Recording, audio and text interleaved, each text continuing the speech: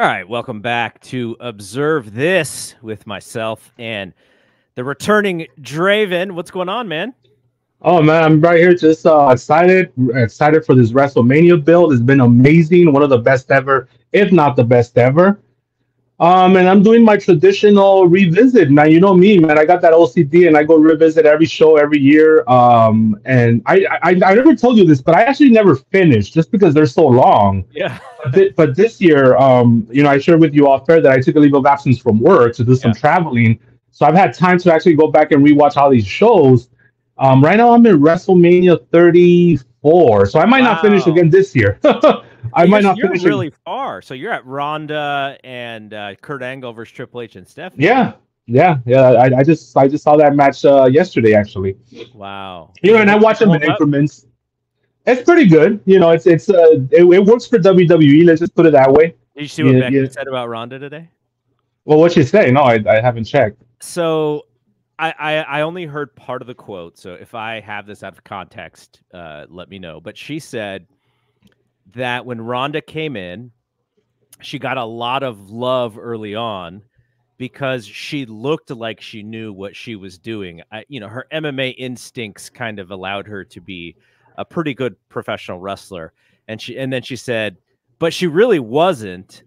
And it's uh wrestling is something that you need lots of repetitions at. So I don't know if the rest of the quote had to do with why she got burnt out or whatever, but she Becky was sort of saying this is something that we do as an art form and she was not good at it but was treated like she was really good at it. So I thought that was an interesting comment. It is, yeah, and I think that you know they're they're like mudslinging at each other lately. Um, and you could tell that Becky's like a company woman through and through. Yeah. Um, even even even her quote about Vince earlier was a little controversial, I think. Um, but you know, to me, every time I saw Ronda wrestle, I'm thinking somebody's gonna get hurt here. Yeah. You know what I'm saying? It looks she real. from the very what- it's not just it look real; it looks sloppy. Yeah. You know, it, it always like when, when she had that feud with Alexa. You know, Alexa Bliss is so tiny, right? Yeah. Uh, it was it was like a it was like a television feud if I remember. And she would just throw this girl with those judo throws, and this girl's like taking bumps, and I believe she ended up getting a concussion out of it. Uh, one of many for her, by the way, which is concerning. And yeah, I mean, every eh, since, since her first match, and even even when she first showed up, or actually she re-showed up at the Royal Rumble, um, it was a little clunky. You know, it was a little rehearsed. I don't know if you remember, but she did that whole finger pointing where it was like, "Yo, you rehearsed it when the arena was empty." It's so obvious. Yeah. You know, it, it, it wasn't. You, you didn't get that innate feeling that she was connected to the business in that way.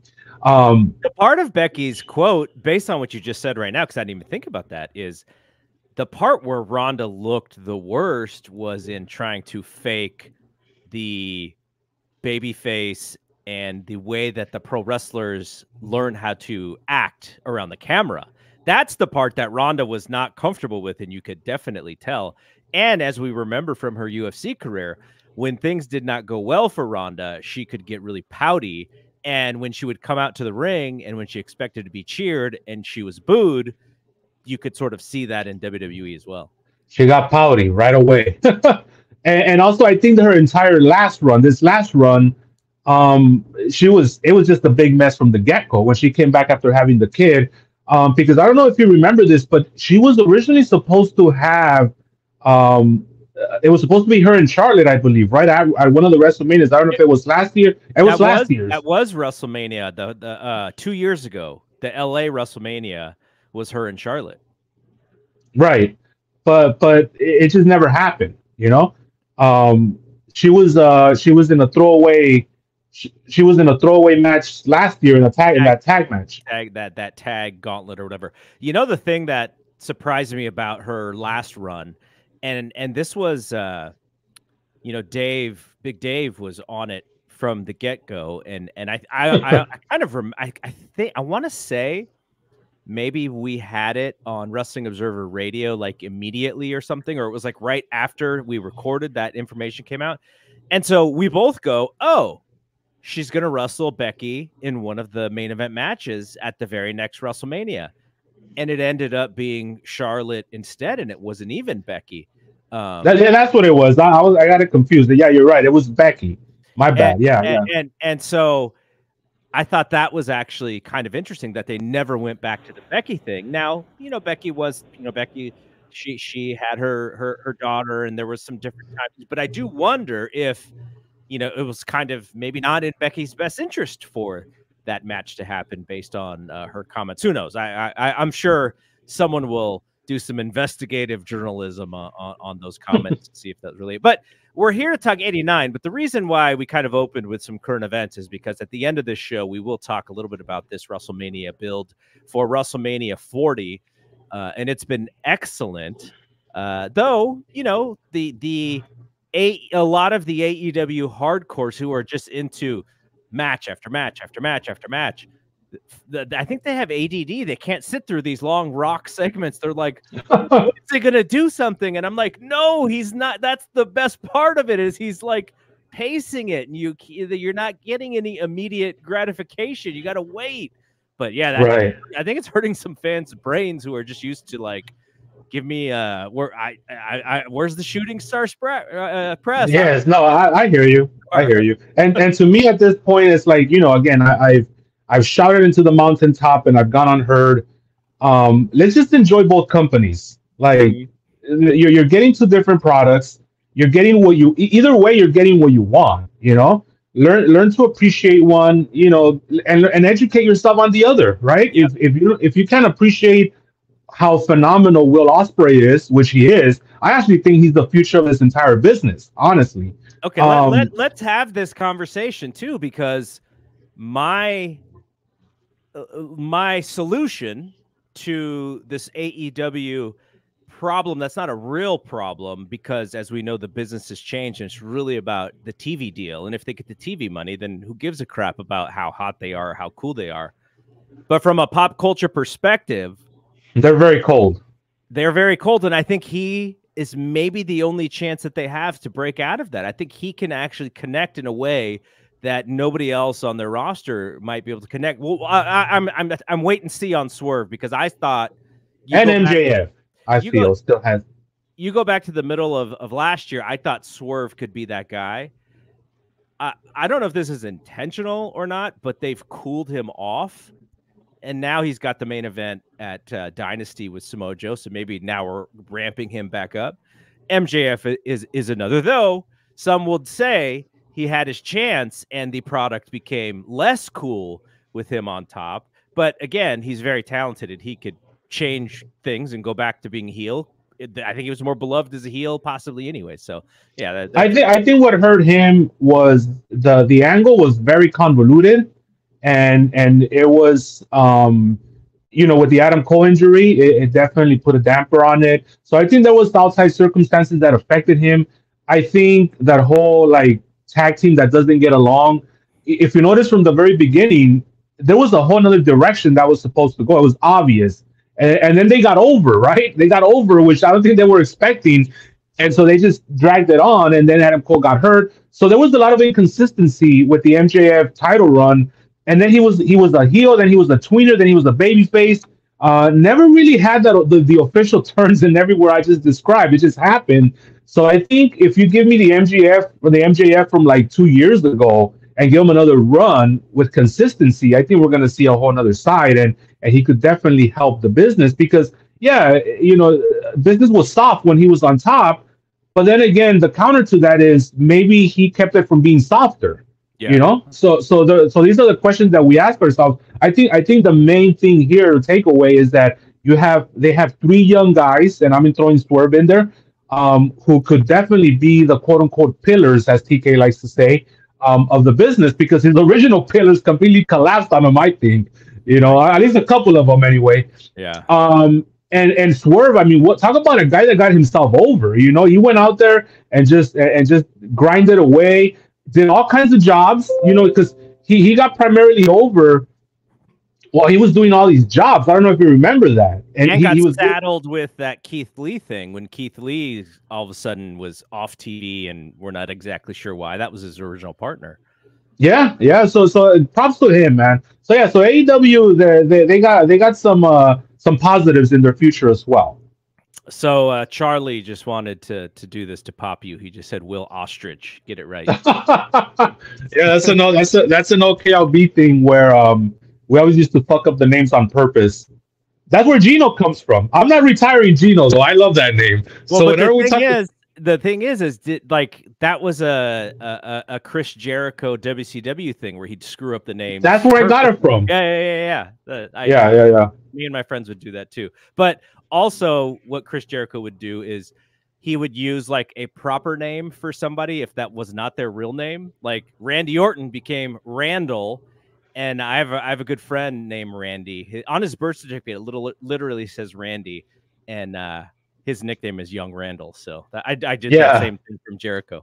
Uh, yeah, we right. do the Randall K thing. We do, and and, I, and you try to keep it up. I was watching a, uh, a, a show with you and Big D earlier today, and, and, and you try to keep up the Randall K thing, but you, you don't use the K. You just call them Randall. But maybe it's because of your buddy, so you're just connecting it that way. yeah. All right. So, like I said, we're going to talk some 89, uh, March of 89, going through the Wrestling Observer from that time frame. The problem with this time, and, and this is actually connected to today's wrestling, because on Monday night, we just saw the angle of all angles to heat up WrestleMania 40 with The Rock bloodying up Cody Rhodes. And, uh, you know, we're only a couple weeks out. And back the way that they used to do it is they would do the angle, you know, a couple of months in advance. And then the rest of the way, they're doing interviews mostly. They may do some small things uh, for conflict. But so we had Hogan uh, and Savage as the mega powers break up in February, and that creates the match.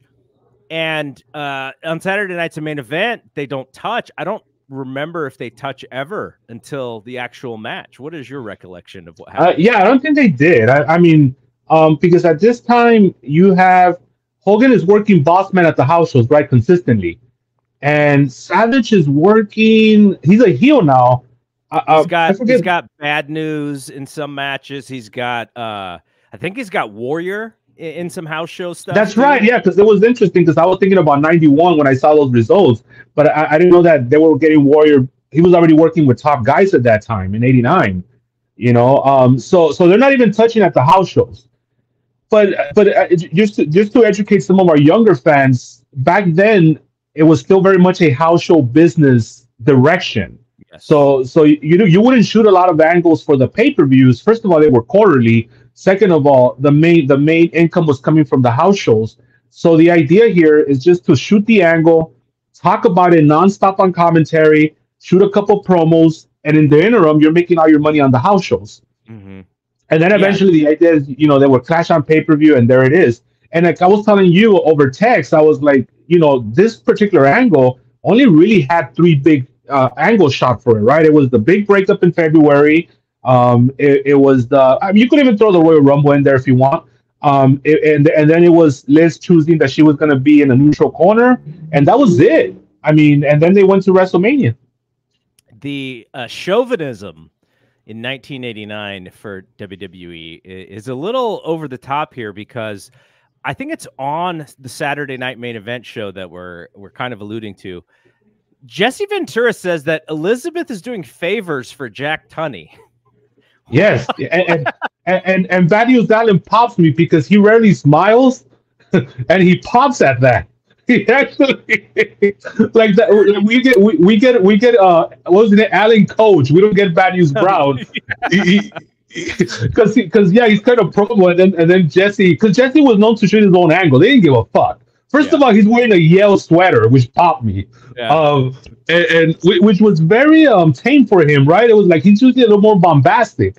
Yeah, um, the, bo- the boas and the tie dye and the head, and the yeah the head things. So yeah, you're right. It, it was it was it was an interesting like almost like he like forgot his clothes or or like at the airport they lost his luggage or something like yeah and then somebody just gave him a Yale sweater but maybe it was where the where they were coming from i forgot where the where the Saturday main event was from um, but but yeah, you're right. He started saying that that, that she was doing favors, um, and, and from the for President Jack Tunney, and and, and yeah, Bad News Brown started popping, and uh and and that was interesting to me. Hershey, Hershey, Pennsylvania is where they were. Okay.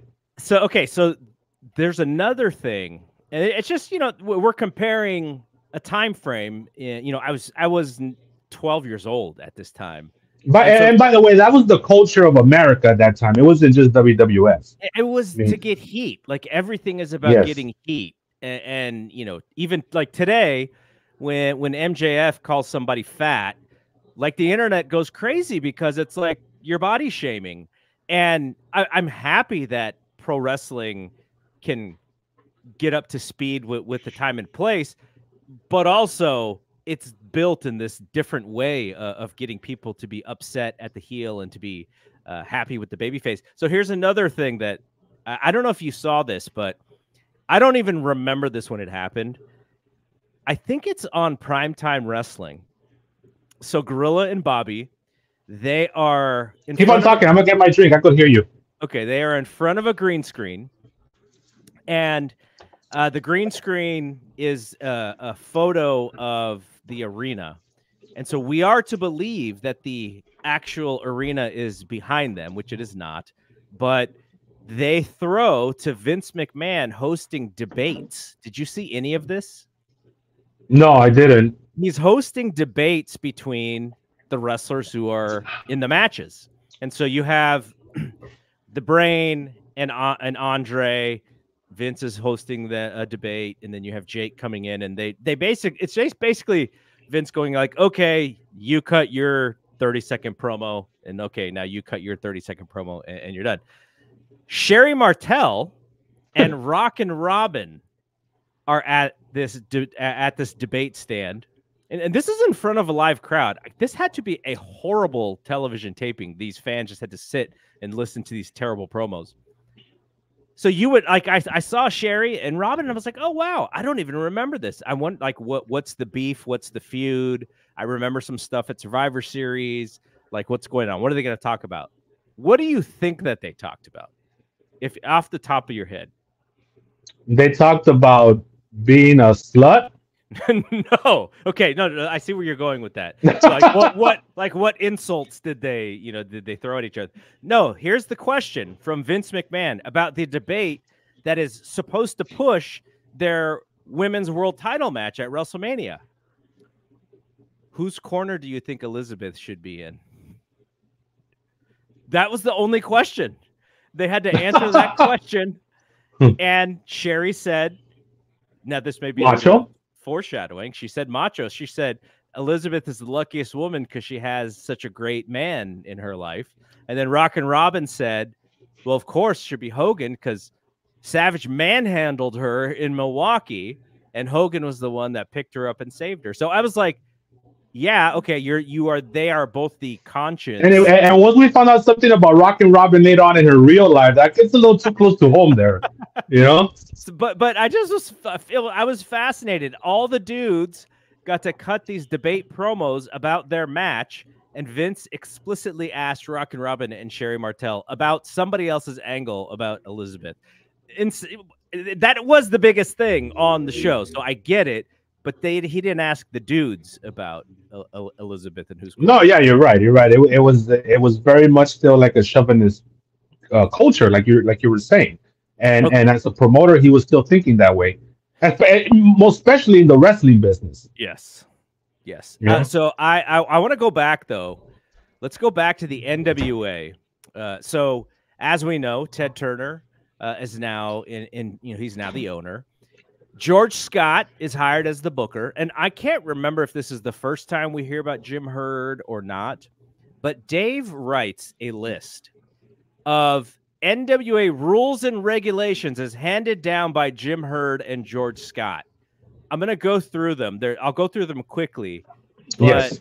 this is another time and place kind of thing that that can, you know, it will zap folks back in 1989. Okay, first one. All wrestlers, managers, referees, and other officials must be in the building one hour before the start of the card. Bret Hart would never sign with these guys. No, no, he's he's one hour out. He, he would be claiming uh you know the time difference, you know. Daylight savings. That's what Bret Hart would say.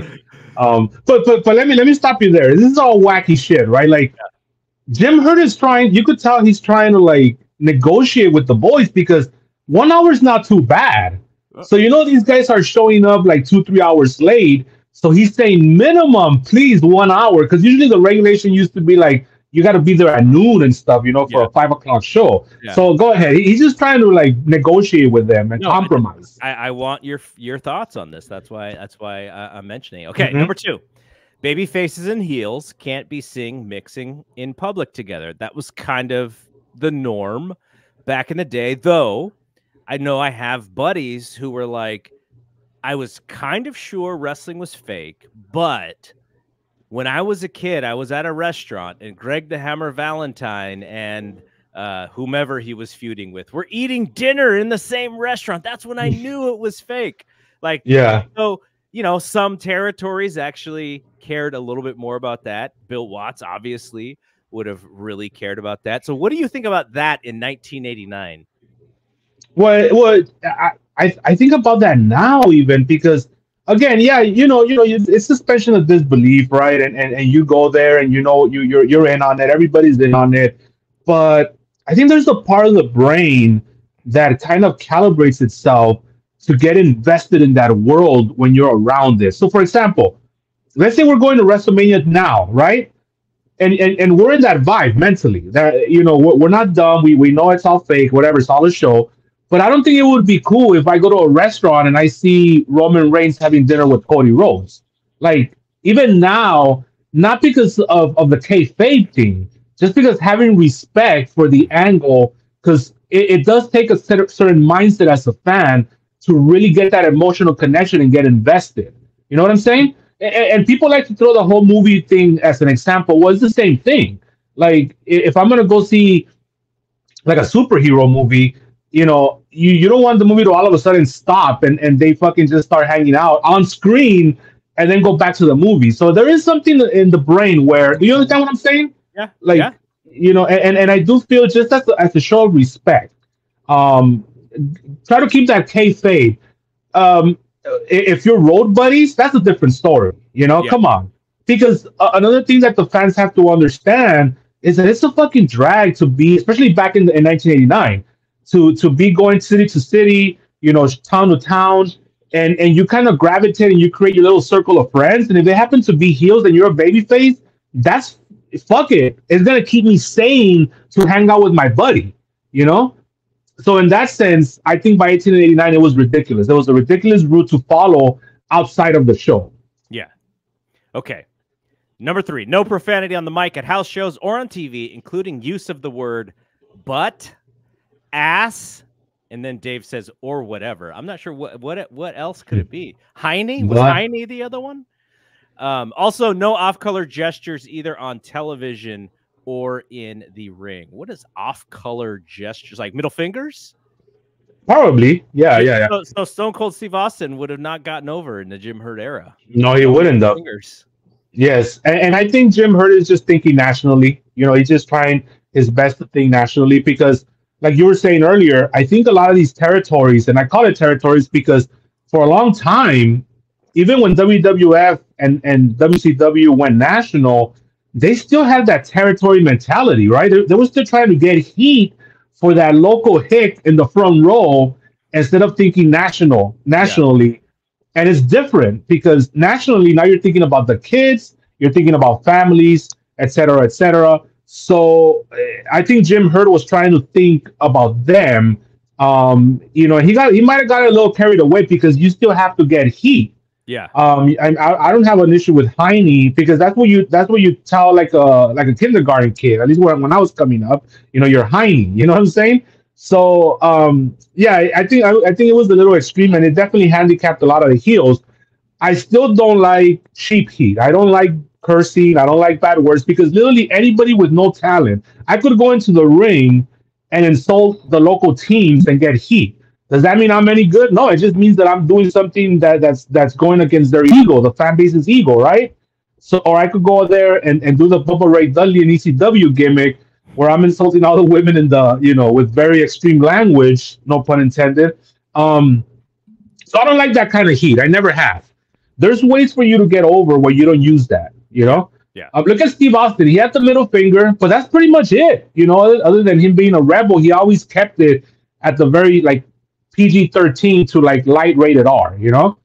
He he was just smart on another level though, as far as protecting his character. His character was almost never in a opportunity where he just looked bad and wasn't fighting back. Like he, if he was gonna get his buck tick, it was gonna be like three against one. It was never gonna be one against one. He's so smart mo- at that stuff. Yeah, no, the most hardcore thing he did was when he was like, "You put an S in front of the hitman." That's exactly what I think about. That's the only thing you know what I'm saying. But he didn't say it, you know. But he allowed the fan base to say it, so that was cool. Yeah, yeah. All right. Uh, number. This is an interesting one. Wrestlers or managers are not allowed to use the house mic before intermission. So we're saving all of that stuff if they need to use it for the big main event stuff after the intermission. So we're not, you know, we're not letting Sam Houston, you know, make fun of whom, whomever on the mic and, you know, because he's not a main eventer, he's not an important match. We're saving that stuff for for the uh, the main event stuff. Yeah, that, that just goes back to the old adage of like you built up your show, right? And, and you don't want to use the gimmicks in the opening contest or the second match. You want to build up to all the gimmicks and so, in a sense, and there's always been that argument. I've had that argument with my friends. Do you like the WWE style of booking where they very much limit the first couple of matches and it's just very much kick and punch? Or do you like that indie style where everybody goes balls to the wall from the first match to the last match? You know, but here's the thing. Here, here's here's how you um the pros and cons. When you go to an indie show, like when I used to go to PWG all the time, yeah, you're gonna get three or four five star matches, but how many of those are you going to remember? You know, maybe none. Me, I wasn't sober, so I had none regardless. but, but my gimmick was that I would show up and I was, anyways, we're not going to get into that. So, so then the WWE style is more like building moments, but the, the first couple of matches are there to warm up the seats, right? Warm you up, and then you work your way up to the big spots in the main event and the WrestleMania kickouts. So I think that's what Jim Herd was trying to do, more like hey, we're gonna save the real heat for the second half of the show. Don't don't steal from those guys. Um, so don't do it in the first half because at the end of the day, let's not forget that the second half of the show is the one that puts the butts in the seats, not the first half. You know. So that's that, that's the rationale that I'm thinking. What about you? So I've asked uh, John LaRocca, my co-host on on Fight Game Podcast, who uh, he was the booker out here for the Bay Area Indie APW, and then he also did an offshoot, his own his own uh, company premiere, and he said, "Now people will remember from the Beyond the Mat documentary." Roland Alexander. People will remember that character. Oh, I love that guy. I love that guy. So that was LaRocca's teacher. That's who that he was LaRocca's teacher essentially. No, no, no pay, no play, baby. We all remember that. he and so he said that Roland's blueprint or Roland's thesis on putting a show together is your main event is your most important match, but your second most important match is your opener because of what you said, which is the crowd, you have to get them excited.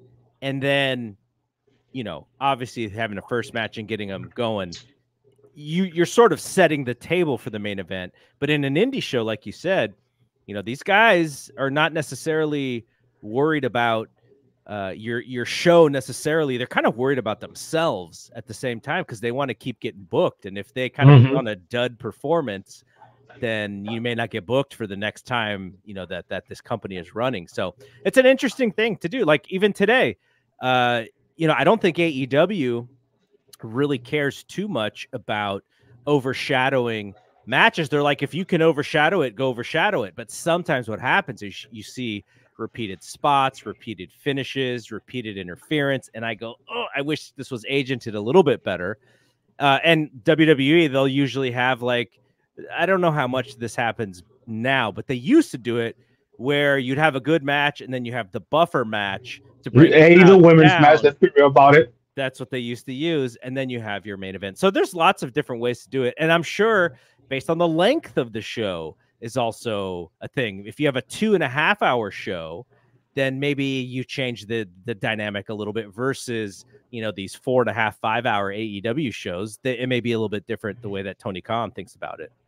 Yeah, you know, interestingly enough, like when I used to go to PWG show, and, I, and again, we have to kind of budget in the partying that I would do before and after. No Korean but, barbecue after.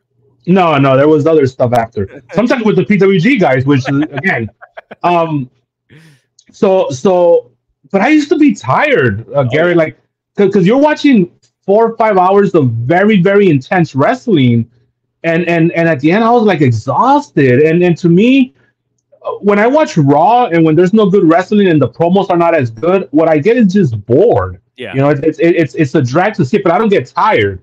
Um, and but but then again, there's that other side where like I never get tired watching the AEW shows either. Mhm. You know, even live, like they seem to just fly by even when they're five hours. Maybe because their characters are are over with me, you know, and that helps. Instead of just watching two generic wrestlers give me a five star match, Yeah. I'm getting two wrestlers that are over with me, and so it helps me get through the through the night. So so it's interesting how some shows, uh, you know, the work rate is good, but I get exhausted because it's it's it's five star after five star after five star. Like the New Japan shows would get me like that. They get me exhausted. WWE shows that's my that, that's my favorite kind of wrestling. To be honest with you, because because my really my real favorite kind of wrestling is the Southern style, which Mhm. has a lot of wackiness, as you know. It's very much a fucking cartoon at times. Yeah. Um, and, and, and so uh, WWE kind of integrates a lot of that, or they used to during the Vince era. So that's the kind of style that I gravitate toward. So I like watching those four or five hour WrestleManias, and I'm I'm cool. But however, some of these Raws that could get they, they they're tedious and they're boring to get through. So it's just different shows, you know. Yeah. Uh, all right. The next one is, uh, and I don't know how you can do have Ric Flair in your company and do this one, but no low blows. That was on this list. No low blows. Huh. Well, we also know that that Jim Herd was very ignorant. We and and and about the business, about you know managing a company, um, and, and so he he he he didn't have the self awareness to understand that his top guy that was one of his key spots. You know, so we also have to think about the the the how the animosity grew between Ric Flair and Jim Oh, yeah. during that time. Oh, yeah. Um, so for all we know, he threw that just to fuck with them. But that was a little too early in the game, though. So I don't think that was the, the main. I think he legitimately just wanted to get the cheap heat out of the way because remember, even though in the KLB we used to say that Jim Herd was the pizza delivery boy that got a job, he actually worked for for Sam Muchnick. yeah. You know, so so he was coming from that more like that sports background. Where, where professional wrestling was presented as, as this authentic sporting event rather than the cl- Yeah. yeah, you know the people in the suits in the front row, you know stuff like that. So so to him, he's thinking low blows. Fuck that. That's cheap heat. Yeah. You know, get try to get heat the real way. Yeah. You know. Um. So that's why he. That's probably why he banned it. Here's another one that is uh, probably not very popular. No using chairs, tables, or the guard railing. And then parentheses, Dave says, those are Abdullah the Butcher's only three moves. yeah. Yeah. Um. Yeah. Again, he just wants to clean up the product. That would know? not work with today's wrestling because the He wants to do the catch, catch, can or whatever. catches catch can. The, The, the- the- Greco-Roman. I, I'm not, you know, I, I did not ever attend an ECW show. I really didn't see a lot of it because they didn't come out this way, and I wasn't searching for ECW tapes. But I can imagine that that was a pretty bloodthirsty crowd.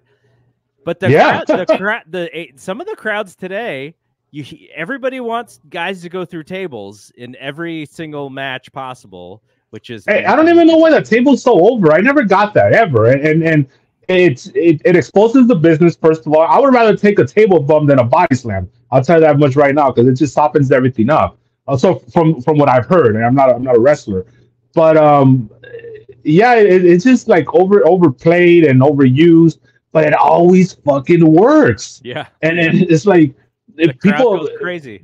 the crowd is it, again it's just a, like a cheap pop and it, it always works um and and yeah i think jim herd was just trying to get rid of that and again taking back to more of a sports oriented presentation You know, Mick Foley, if he was wrestling today and he knew that that's what the crowd wanted, he would get the table out early and then he would tease putting the guy through it and tease putting the guy through it, and it would never happen.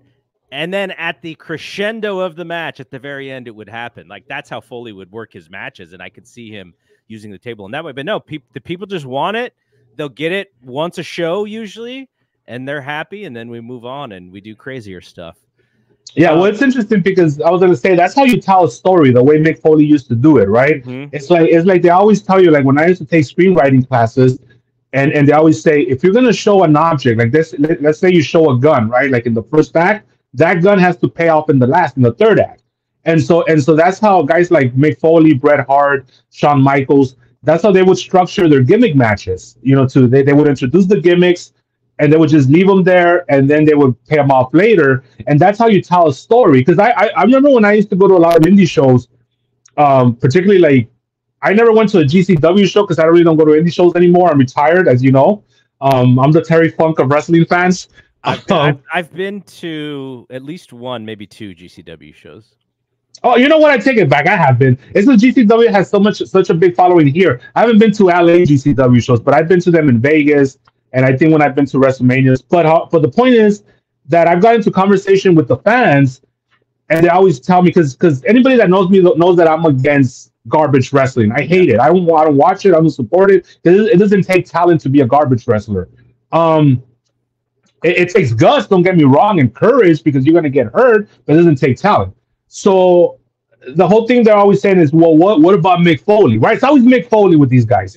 what about Mick Foley? And I was telling, but Mick Foley, every every every gimmick that he used had a purpose within the match.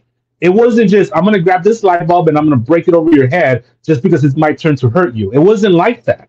And that's the difference between a garbage match and, and what and what I would classify as a hardcore professional wrestling match. Mm. You know, now it does get a little muddy because your boy Kenny Omega brought a lot of that to fucking mainstream wrestling, which which kind of bothered me a little bit. But uh, but Mox, even I mean, Mox and Kingston, Mox Kingston, yeah, yeah.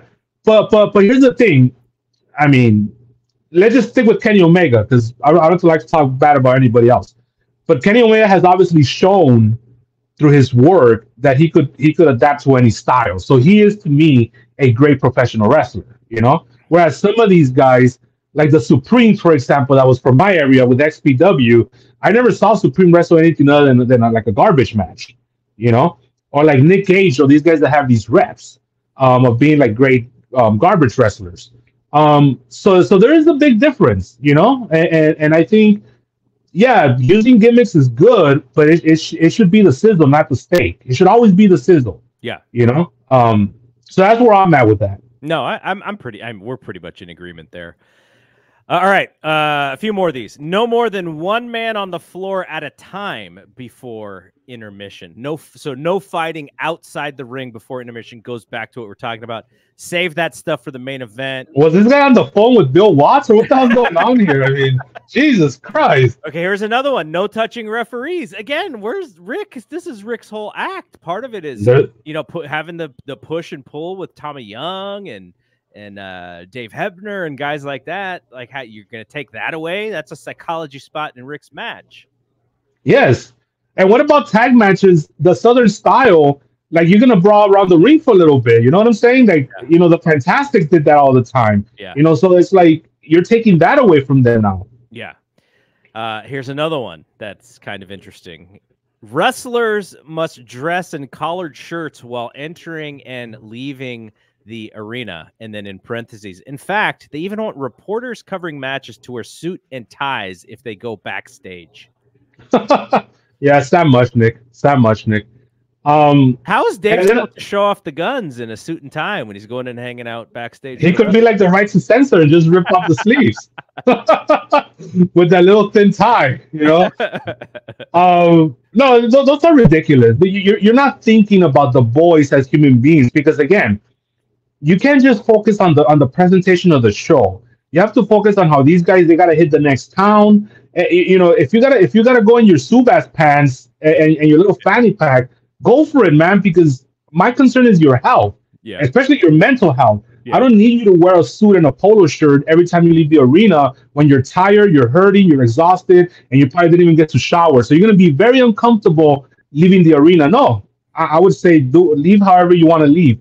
Now, if you want to take care of yourself as a business person then it's up to you if you want to wear a nice little collar shirt because then the fans are gonna see what they're paying for, right? So so like like like to me, somebody like Ric Flair, he's gonna carry himself the way he does because when people see him on the streets, they're paying to see him. So you you, you don't want to look like like the, the, the guy that works next to you. So so the so the, the choice should be the, the, the choice for the from the boys, not not so much from the office. Yeah, I mean the Road Warriors, Luger around this time. This is when like the Zubaz pants is starting to get popular. Um, there, I think the Road Warriors are even investing in a company at some point, like around this time. The Zubaz company, they, they, they, they were co-owners of that, and they made a lot of money from that. They were the ones that would hawk it out to the boys, so that's why it became a thing, especially in WCW. All right, no spitting at any time on either TV or house shows. Dave says Iron Sheik's only move. Uh, no pulling down the tights, which Dave says D- Dick Murdoch's best move when he's not in Japan. Yes, yes. And then wives, girlfriend, children, and pets aren't allowed backstage. Interesting. Wow. Yeah, that, that, that's that's very. Those are all very interesting rule changes. Some of them are very rigid. Who who brought a pet back there to get to get everyone else in trouble? Do you think? Uh, well, Matt Borne wasn't there yet with his Bears, was he? But they gave him the Bears. yeah, they did. I, I mean, Cody, Cody's got his dog. I don't The know. if dog, Cody- yeah. I don't know if Cody brings his dog backstage, but somebody brought. Maybe, somebody maybe Baby Cody had a dog, and he brought him backstage back in '87. No, he would have been about two, three years old at that Yeah. time. Uh, I don't know. Koko B. Ware was in WWF, so he, I don't know. Frankie. All the zoo animals were in the WWE at at the time. yeah, no, no pythons. Jake the Snake. So yeah, I'm. I'm that, that one's kind of weird. Someone had to have brought some sort of funky animal to get everyone. Else. Maybe he was throwing. Maybe he was being very technical because of the ring rats. oh God. I'm just hey, product of the time, folks. Product of the time. Uh, all right, last one. No long distance phone calls from the WCW office in Atlanta by the rest Because just imagine Dickie Murdoch coming in with a with a with a, a female friend, right? And Jim Herd like, we said no friends. And Dickie would have been like, she's a damn rat, Jimmy. and, so that- now no and so- pets. Now no pets. Yeah, exactly. Now, hey, so see, so that's probably what was happening at the time. Unfortunately, All right, some other notes uh, in the NWA world that I wanted to run by you. So we know that Tony Schiavone leaves and he goes to WWF at this time. And, you know, got to give a shout out to Tony Schiavone.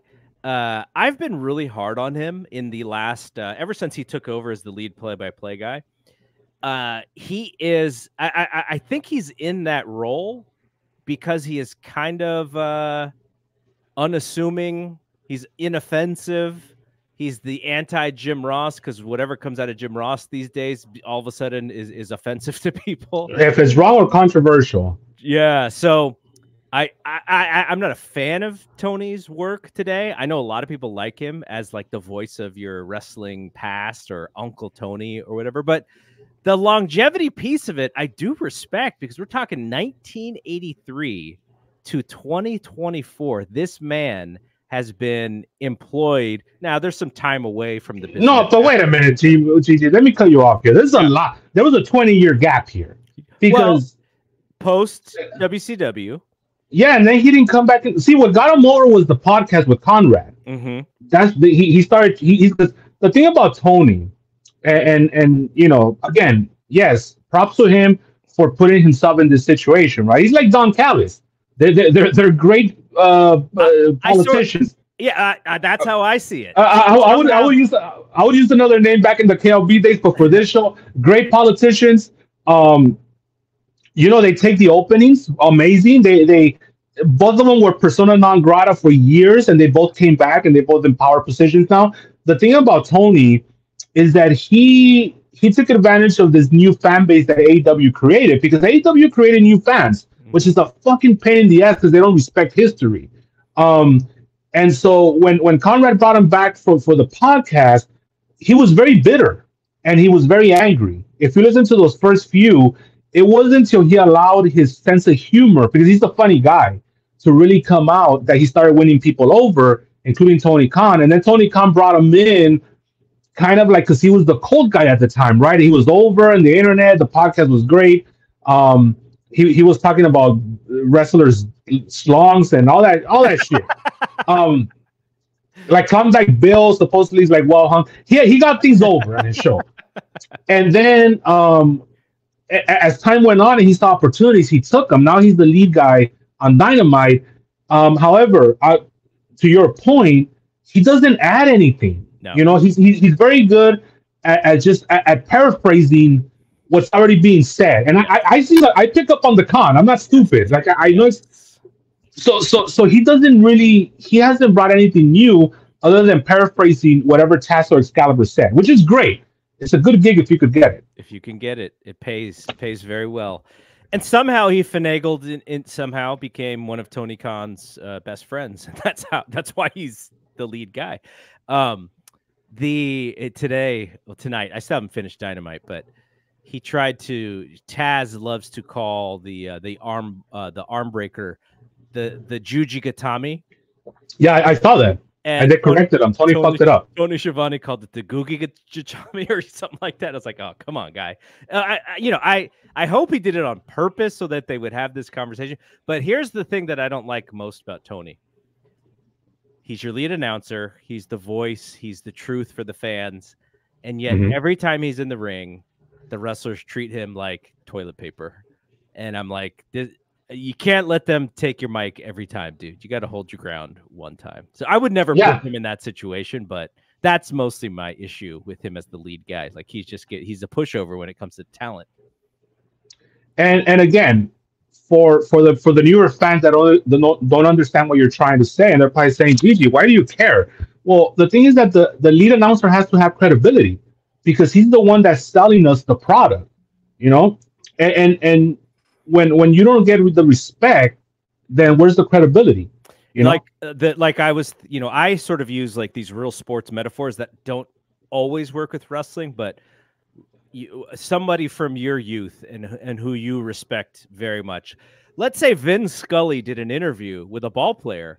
That ball player would never shit on Vin Scully because Vin Scully is royalty and that mm-hmm. announcer has to be royalty. And now some will say, well, this is wrestling. What about like, you know, fighting? Oh, baseball has heels. Baseball has guys in the past that have not given a fuck. Uh, yeah. and, and they'll go after, you know, so, so yeah. And, and, but to your point, they wouldn't disrespect Vince Scully. No way. Joe Rogan. Joe Rogan is in the UFC. Joe Rogan does interviews with all these fighters. It is very rare where he has to kind of you know, he has to kind of shut somebody up or something, or someone kind of goes off and says some crazy stuff.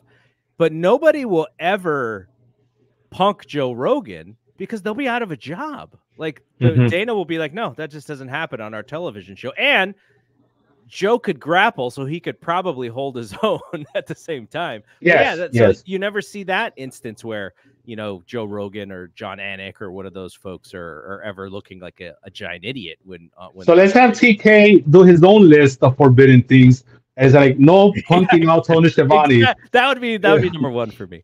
Um, and the first or last half of the show. Uh, we do have a question, and since we we are going to talk more current stuff, though we did go a bit longer than I thought on this on these rules. And uh, I also have the Q and A from the page as well that I'll pull up. Okay, J Boba twenty eight says, uh, "Who's more valuable to WWE in the next five years?" And then he continued to say, "Roman or Cody." I think that's an easy one, actually. That's an easy one. It's Cody. It's Cody. It's absolutely one hundred percent Cody. Roman. Yeah, even now. He's more valuable than Roman is today, for sure, one hundred percent. To the business that they do, he's hundred percent more valuable than than Roman. Now, Roman yes. Roman's act still works because less is more with that act, and they don't kill us with with Roman constantly on television. And I know some fans get their feelings hurt when Roman gets all these accolades and like, oh, he wrestles three matches a year. It's like that's what works. That's what does the. But, but think about it like this. Think about it like this. This is this is what I try to tell the younger fans.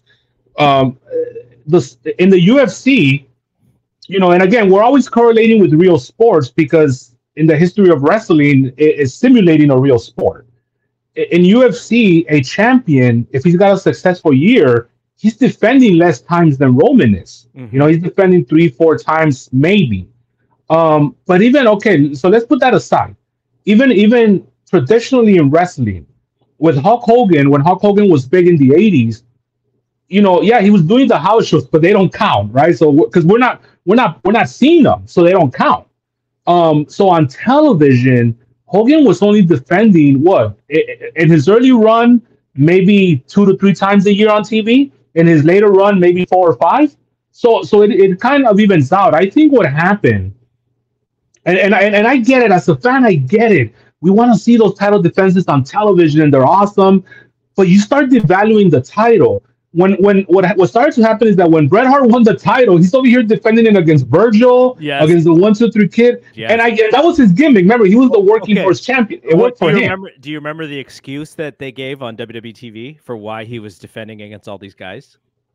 No, I remind me. He had to fulfill Ric Flair's current schedule because all these matches were set up for Flair as champ.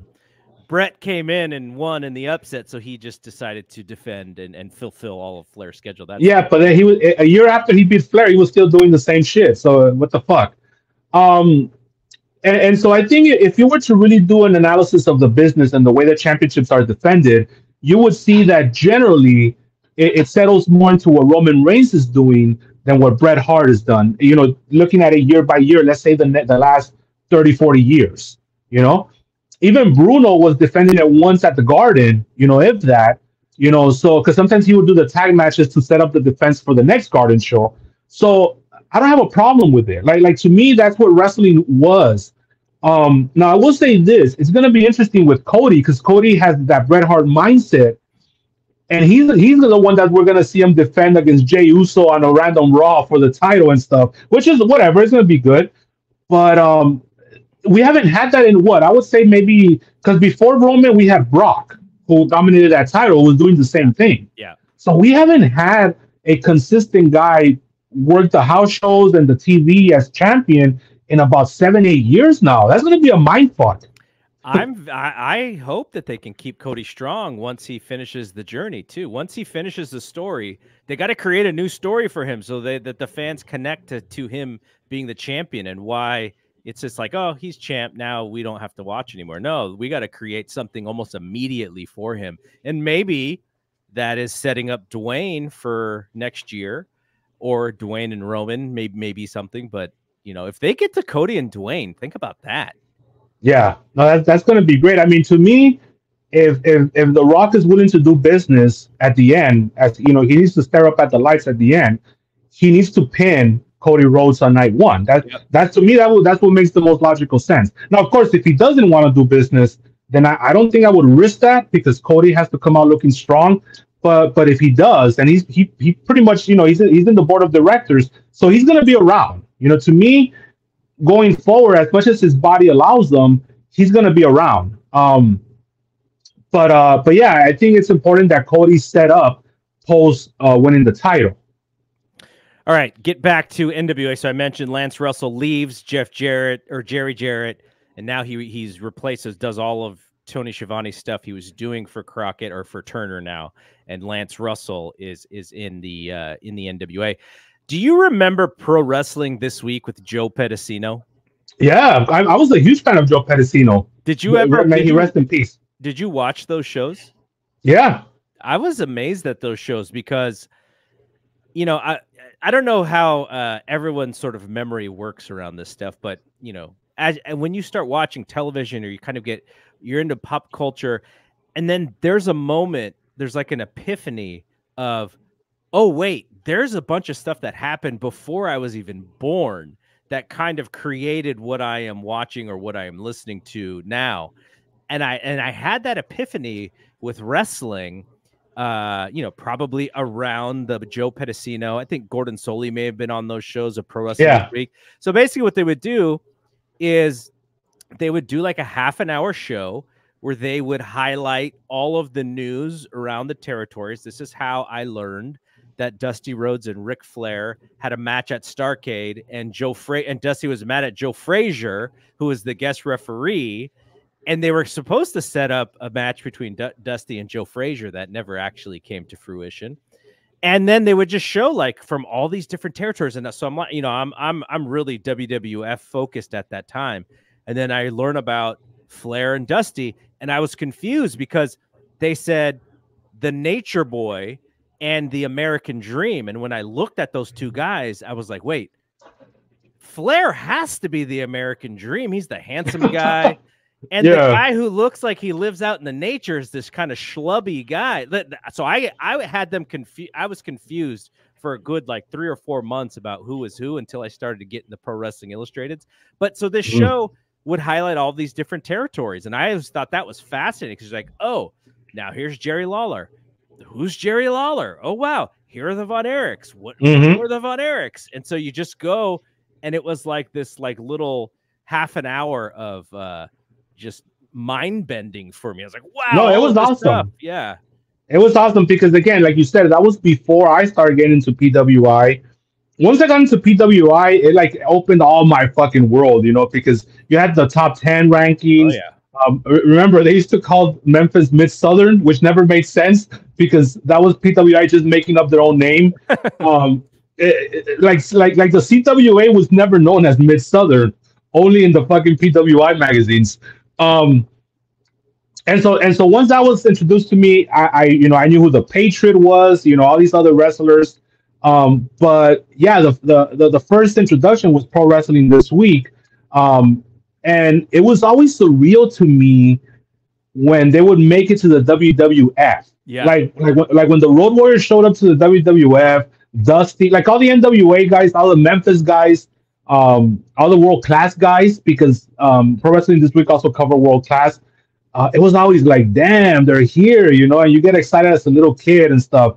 So um, I remember Kerry Von Erich was the big one for me. Oh, like when he first came to the W, I was like, holy shit, like you know, and you tell your friends at school that you knew that guy before, you know, and they're like, no, what do you mean? That because to a lot of the casuals, little kids, there is no before WWF, Yes. you know.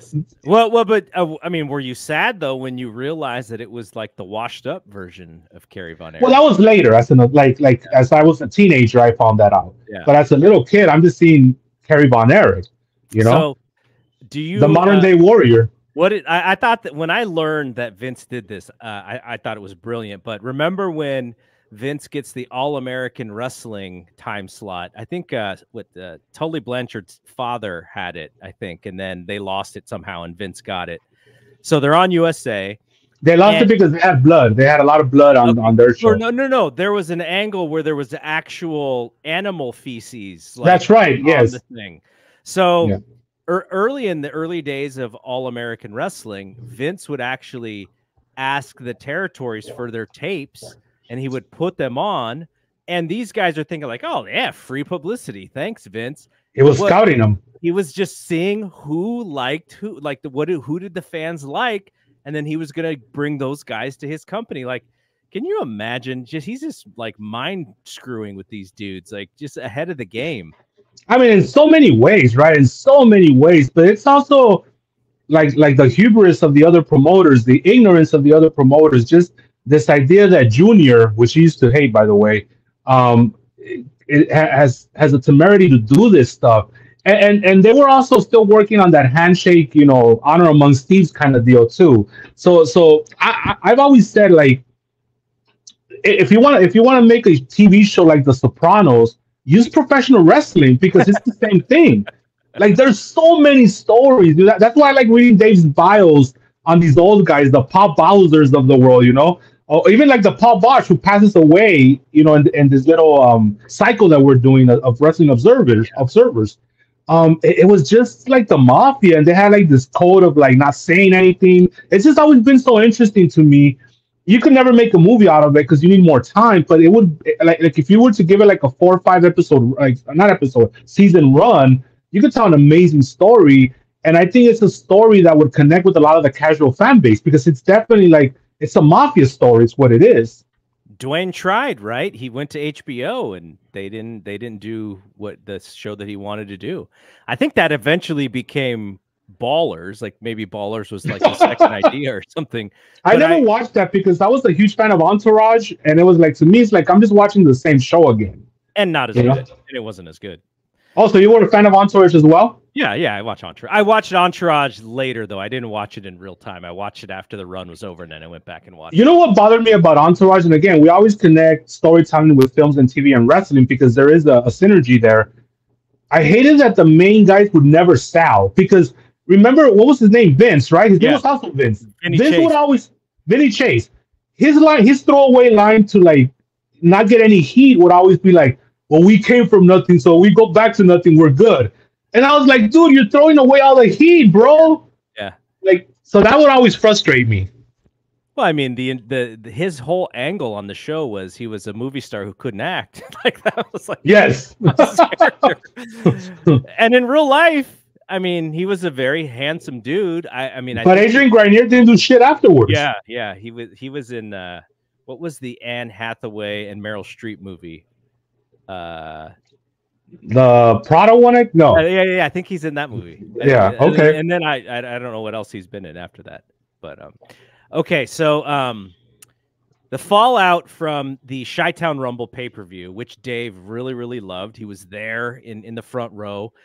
Uh, Dave says that with with the great production on the pay per view, they've kind of uh, done a very good job of making their current fan base happy he was very disappointed because post house shows after that giant pay per view, not giant, but after that successful pay per view, he says that he thinks that they're booking locally rather than nationally, thinking small time rather than big time. And he uses the example of bringing over the Iron Sheik as a washed up WWF guy who's readily available to work for them. And Dave's writing saying, if those guys don't want him, they're telling you that he's not he's not going to draw because they've used they, they've gotten everything out of him.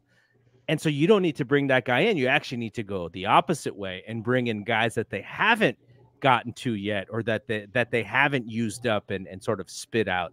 What did, what did you think about that comment from Big Dave and around the two competing companies right now? As I agree with him. I, I agree with him. I think I think uh, how that's reflective in modern times is like when when we see AEW sign off all the castaways, right? All the WWE castaways. Um, I know that back then, when AEW had a different philosophy, and all of a sudden they're signing Mark Henry and the Big Show, and I was very upset about that because I was like, "What are you doing? Like TNA already tried this. You know, NWA in '89 did this. Like you're you're you're you're you're investing in, in, in talent that's already what I like to call like old. You know, there's other talent out there that that's fresh and, and more talented, and you could invest in them. Um, like you said, I think uh, at that point, and this was before Jim Herd came, because I, Jim Herd actually was he he was more in sync with Dave's philosophy when it came to talent. Um, but I do feel like they were saying, well, the Junkyard Dog gets over in New Orleans, so let's bring him in. You know, and and Iron Sheik draws money here, so let's bring him in. And it's like you're thinking national. And then at the national level, the Iron Sheik has no credibility because he's already been there when he was at the WWF. Yeah. So yeah, it, it was definitely a mistake. It's you know almost six years since he was on top in in the WWF. Uh, here's an interesting thing though, and, and this may be a little bit different about the way Tony Khan does this, and I'm I'm actually interested in your thoughts about this. Tony Khan, being uh, coming from a family that is richer than anything else that the wrestling business has has seen. You know, pre TKO, obviously TKO, the company and the entity is very valuable. But Tony Khan as personal wealth and his pops' is personal wealth, I think he comes in and he goes, okay, who do we need to take care of? Who did the business kind of chew up and spit out? And who can actually help us in other areas that may not actually be on television? Maybe this guy gives us credibility in some way. Maybe we can send Mark Henry to some markets and he is very well respected in those markets and he can actually be a face of the AEW because the big show now the big show is very smart. He's not going to say anything negative about him still getting a paycheck and he can't he really cannot do anything. He mm-hmm. said this has been his favorite time in wrestling ever as far as the, the money that he's making and and such and i i can see that because he doesn't really have to do much right? You don't see the big show he doesn't do, what he he doesn't do anything like he, he got body slammed on a car by will hobbs or or, or spine buster. which was pretty brutal though. Yeah. i think he paid for the whole year's his whole year's salary was was charged right there in that bump you know um but no no he doesn't do much you know, he's being a politician, right? He's going to say that. I think. Um, Do you respect Tony for taking care of these guys, knowing that, yeah, you know, keeping this guy employed is kind of a little bit of a. You know, the the the OCML rule, yeah, you take care of your veterans. Do I respect it? Yes. Do I, as a business person, think it's wise? No. Um, uh, we have the Q and A coming up here in a little bit, and somebody did ask, you know, what, what is one thing that TK could learn from Paul and vice versa? Mm-hmm. And I think, you know, that was, TK that was a big question on Wrestling Observer Radio not that long ago. It actually stumped Dave. He actually had to take a show off and come back and think about his answer. Well, we'll talk about it in a little bit, but but, but right now, um, I do think that he needs to stop trying to be friends with these guys, and and, and I don't know if it's something that's that, that's coming up from his childhood. Um, obviously, he's a fan, so he's always gonna have that that that transference with the boys because he looks up to them. Um, you, you, you know you, you know this because you you know you're part of a, of a company like being a businessman is different than trying to be somebody's friend. You know, being a businessman, you're looking at the corporation as a whole, and sometimes decisions have to be made. And so he he needs to start thinking that way. It's very it's very cold, and, and I could never do that. I'm too much of a like you know, um, but but if he's in that position, he needs to start working that way because then we're gonna have situations like what's happened over the last year and a half you know, where, where people don't really respect him and, and he's kind of a pushover.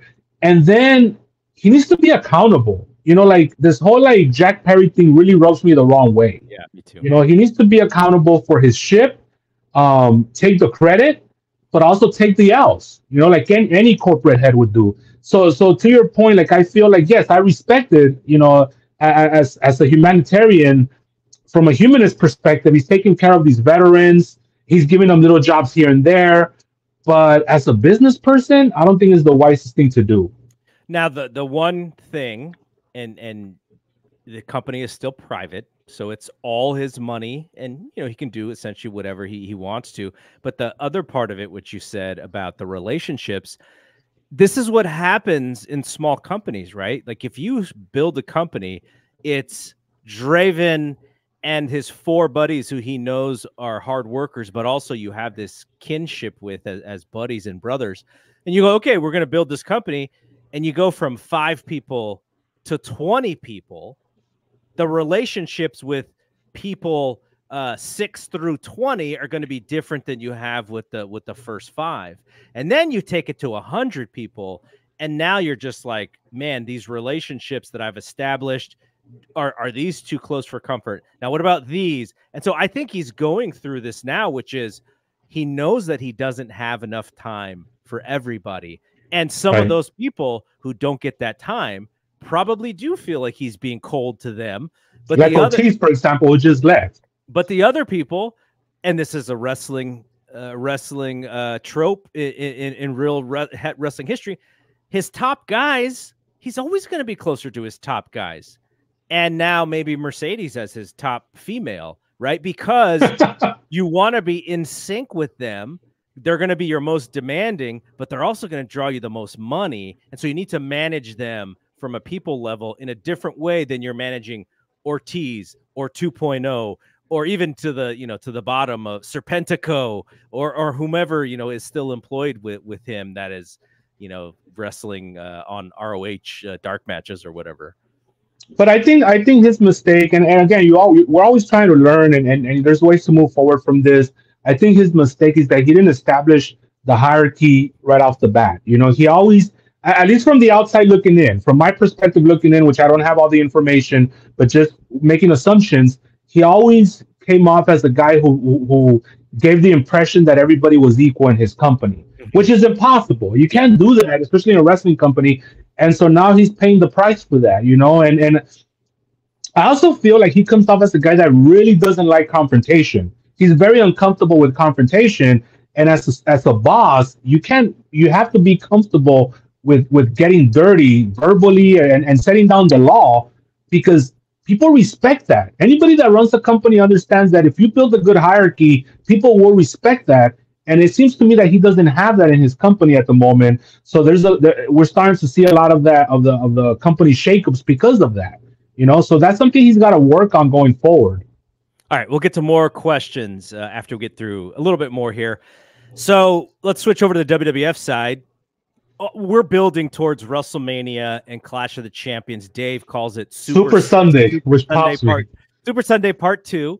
Uh, and so on the WWF side, uh, we were talking about the commission last time and how they went to the commission and basically said, "Yeah, wrestling's fake," and and it it wasn't because they all of a sudden you know wanted to stop telling lies. It was because they wanted to stop paying taxes and they wanted the they didn't want the doctors to have to be uh, assigned by the athletic commission, so they wanted to be out from under that. Um, mm-hmm. Dave wrote that uh, in Houston, and and if people know the athletic commissions and everything uh, in Texas, this is kind of funny to me.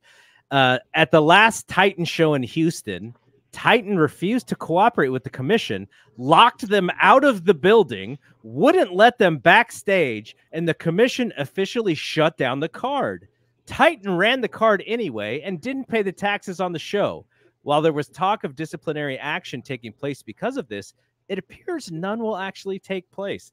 WWF throws the middle finger at the Texas Athletic Commission who wanted their cut from the house show, and they were able to kind of bully them. Well, again, the, the entire the entire um, companies, all the companies, the entire industry, I should say, they're still very much in that very regional. You know, I could buy off the cops if I want to to protect Jimmy Snuka. You know, uh, kind of mindset. You know, and so I think Vince, even even here, we're, we're four or five years into the national expansion, he's still thinking that he's in Connecticut or New York and he still has these guys in his pocket.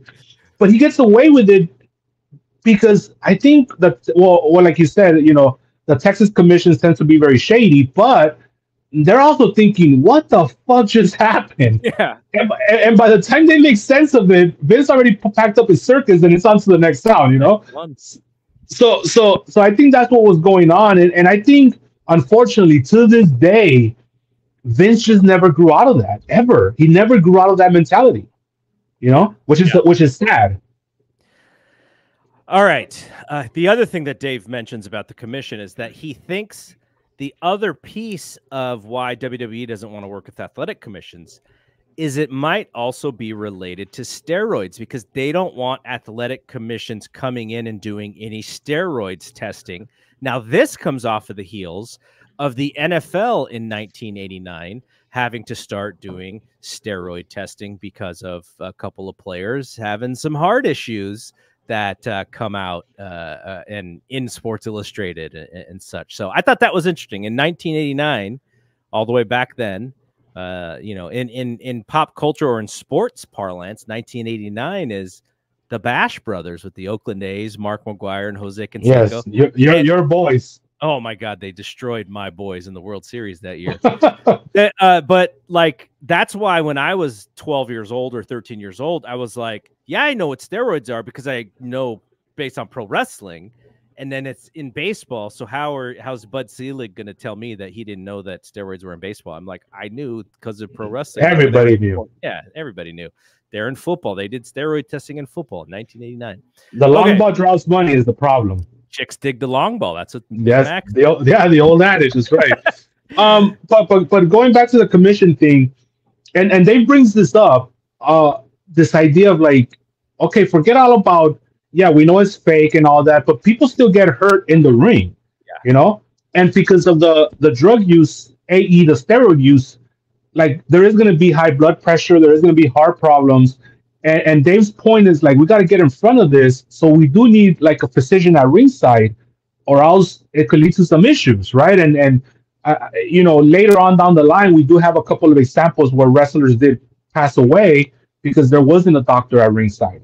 So, um, but I but at this time, this is one of those topics that I kind of have read so much throughout the history of the Observer that I'm kind of tired of it because at the end of the day, what's, what happened later on is that the commissions that were strict, Vince just didn't go to those states anymore. You know, like Oregon, he stopped going to Oregon. He's like, fuck them. They're gonna so so and even, even Jersey, he stopped running in Jersey for a long time.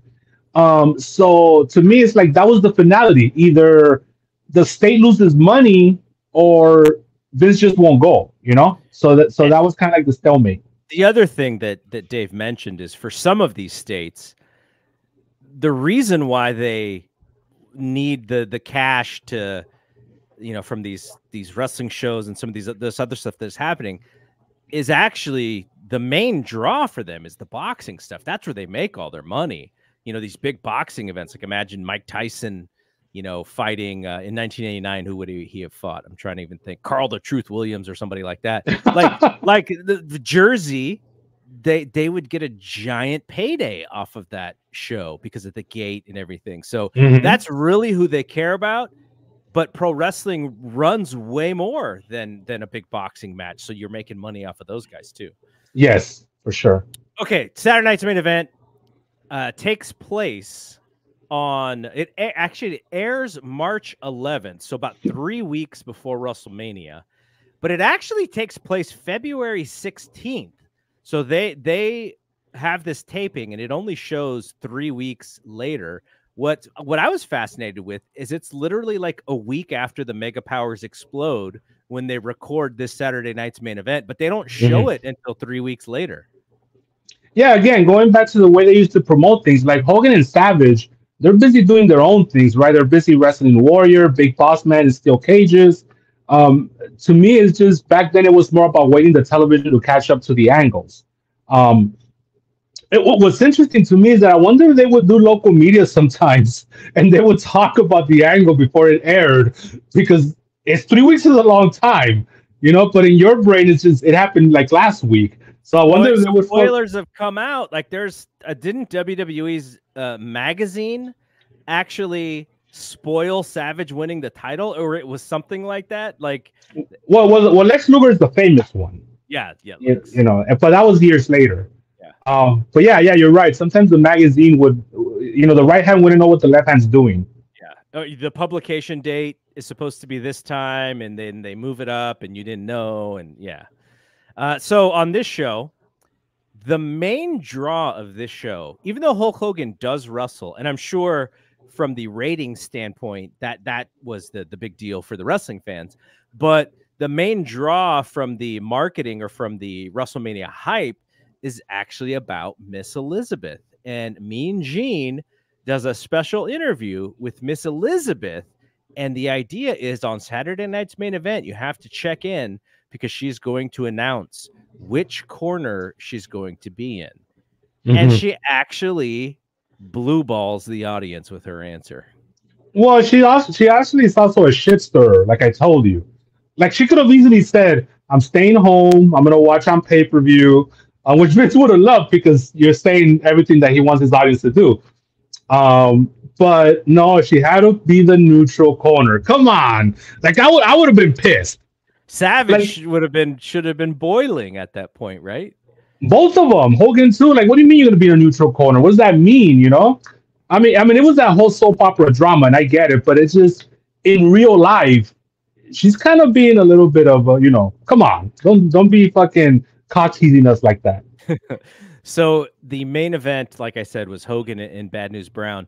And so they do this match, and it's so funny because I watched this match after two my two podcast partners, Dave Meltzer and John LaRocca, are arguing on Twitter about Gunther chopping the ring post on a Monday Night Raw, and how Dave was like, How can he chop the ring post and then go inside the ring and just act like he never chopped the ring post before.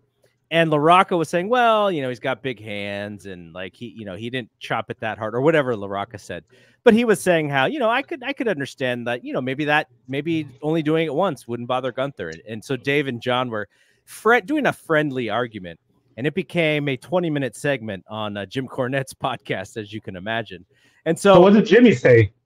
oh, Jimmy was in in LaRocca's corner because he, he's all, he's obviously anti Dave, but uh, he didn't know who John was, even though um, uh, he realized as they were talking about this that John is connected to the website, so he took it as, oh, Dave's bullying his own guys, and I was like, yeah, Jim doesn't understand that we're all friends and we watched uh, the AEW show at Dave's house. You know, I, I never understand that kind of constructive criticism. I know I, I get the logic behind it, but it's just gonna lead you down to a rabbit hole of like eventually you're gonna get called out on your shit too because yeah, yeah. it's wrestling, you know, it's wrestling. So I, I don't know. I, I think I'm gonna be on John's corner on this one as well. Because it's like I get Dave's argument, I get it hundred percent and I respect it because he's right.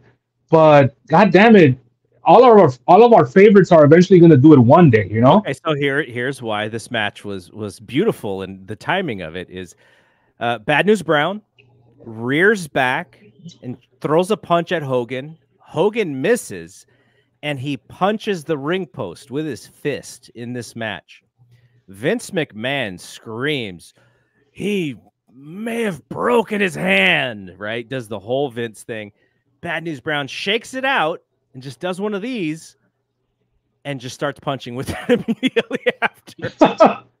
so I just But you know was, what? At least he did that though. At least he did that. I just thought it was funny because it's like there's always like you said, there's always going to be examples of stuff, right? You can, you know, and, and Dave's thing is because uh, John grew up with uh like I said, Roland Alexander. Roland Alexander grew up on the the Bay Area territory, Roy Shire. And so Dave was trying to say, I grew up on Roy Shire too, and they would do silly stuff on Roy Shire and serious stuff. And so he's saying, you know, I, I get I get the Gunther thing, but if we're gonna call other stuff out for being silly, we have to call Gunther out too, and not and just because Gunther's great, he doesn't get called out. I think that was Dave's argument. It was it was it was just a friendly thing between both of them that kind of got blown up. I mean, I, I didn't listen to Dave's argument, but I'm gonna assume, and I think a lot of fans, this is what upsets them. I'm gonna assume that it wasn't because it was Gunther; it was because Gunther was doing it in the WWE, and that's a whole different argument. Uh, you, you, know? you know, the inside inside of this, and John explained this, and John thinks that this was the reason that Dave mentioned it. Is when we were at Dave's house, we were watching the Ospreay and Takeshita match, and John doesn't like the AEW style that much. It's too there's not enough selling, the pacing. He likes, you know, he likes a little bit more of a realistic style. So as we're watching this Ospreay and Takeshita match, John made a comment about how he's like, "Yeah, this is a really good match." And Ospreay's great, but I still like Gunther's style better than Ospreay. So John thinks maybe Dave was ear- eavesdropping on that comment, and then in the back, oh, I see. that's what he thinks. But I don't know. I, I never asked Dave about it. I just thought it was funny. Um, but anyway, that it's just you know we're we're comparing. That is Allen, baby. 2024 to 19, and moving on. 1989. If there is a guy who is tough enough to fight with a broken hand, though, it would be Bad News Allen. Hell yeah, and and also um, it's interesting because he had that rebel character before Steve Austin, right in that company, but he was like the, the spice heel, and Steve Austin was. But I mean, Steve Austin to me had a little more charisma, of course. Yeah. But uh, you know, it was just a, a, a very angry, uh, anti-authority guy in black ties and black boots. It's the same thing. Um, bald, bald, head too. Yeah, and the thing about News Brown that's interesting is that he was very resentful for years uh, with Vince because Vince promised them this, promised them that. He but thought he was getting a title run, right? Yeah, with with Savage. But to me, Bad News Brown came in on top because he came in in '88 a little bit before WrestleMania, and he was put in the program with Savage like right away. Yeah. So he was making top guy money off the hop. And, and, and so even up into the big bluff here with Hogan for their little mini program, um, you know, he started going down the cards right after this, but he came in on top. And I think all things considered, knowing Vince's track record, I think he respected News Brown and he never other than the name, like he never humiliating him. Maybe maybe calling the finisher the ghetto blaster was was something that bad because News was one of those like very progressive guys. You know, he was very much like there's racism in wrestling, which there has been. That's why he hated Andre, right? He hated Andre. He called him out. He stopped the bus and like, let's go, bro. You know, um, and Andre backed up. So um, yeah, he so he was aware and, and he was very hyper vigilant about any kind of discrimination. But to me, it's like, yo, Vince brought you right to the top, you know, and I don't know, maybe there should be some sort of compromise and just not taking it as a big L that he didn't put the title on you. But then again, Vince is the type of guy that would be like, yo, bad news, I'm gonna put the title on you. Come it's like he's such a liar, you know, like straight up liar too. Like not even like discreet. So um, who knows? But yeah, Bad hated Vince for years after he left the company.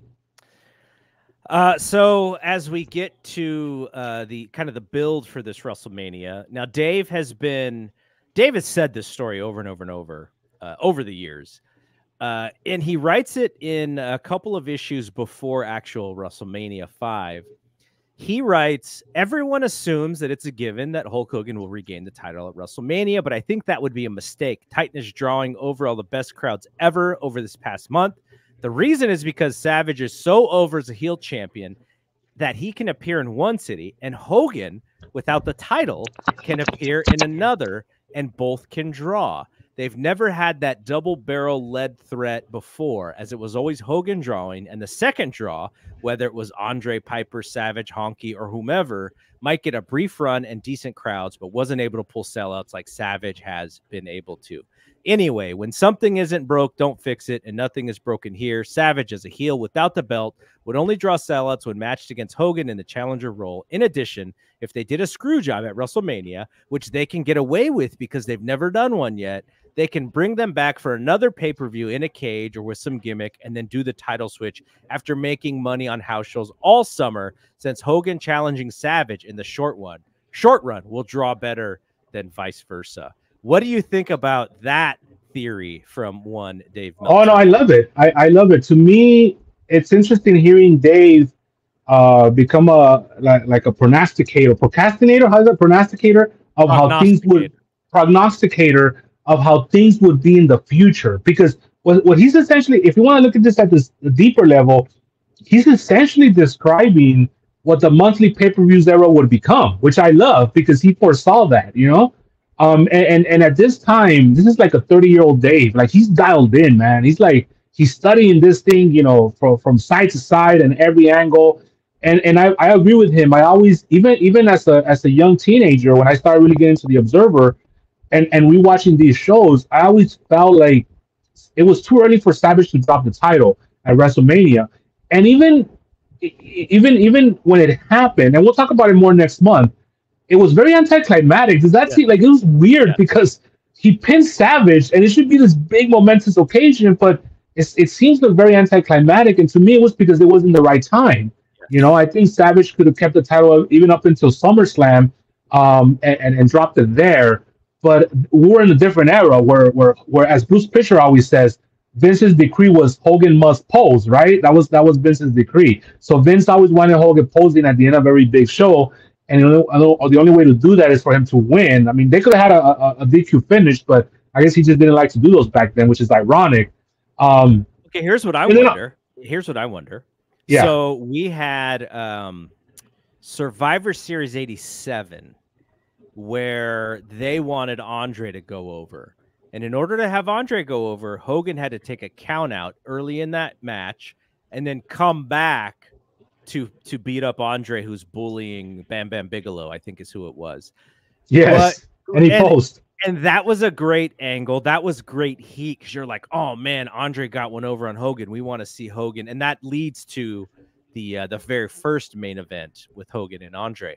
But uh, but at the same time, pay per view was still very early in the game. I wonder if there was a lot of negative feedback from the casual wrestling fans who were like, "I paid to get my Hogan."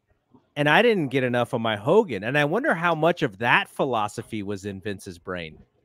It could have been. And then he also had that little survey from the year before, right? Because the year before, Hogan ended up being out of the tournament relatively early with a with a DQ finish, and then so maybe he heard the fan base, you know, from that year before, and he tried to rectify it. And then at the end of the day, it could also be just Hogan being a politician and being I I, I you know I ain't look I ain't staring at the lights for Savage, brother, not not on this show. So it could have been a factor of different things. It could be a bunch of different things that, that played into that finish.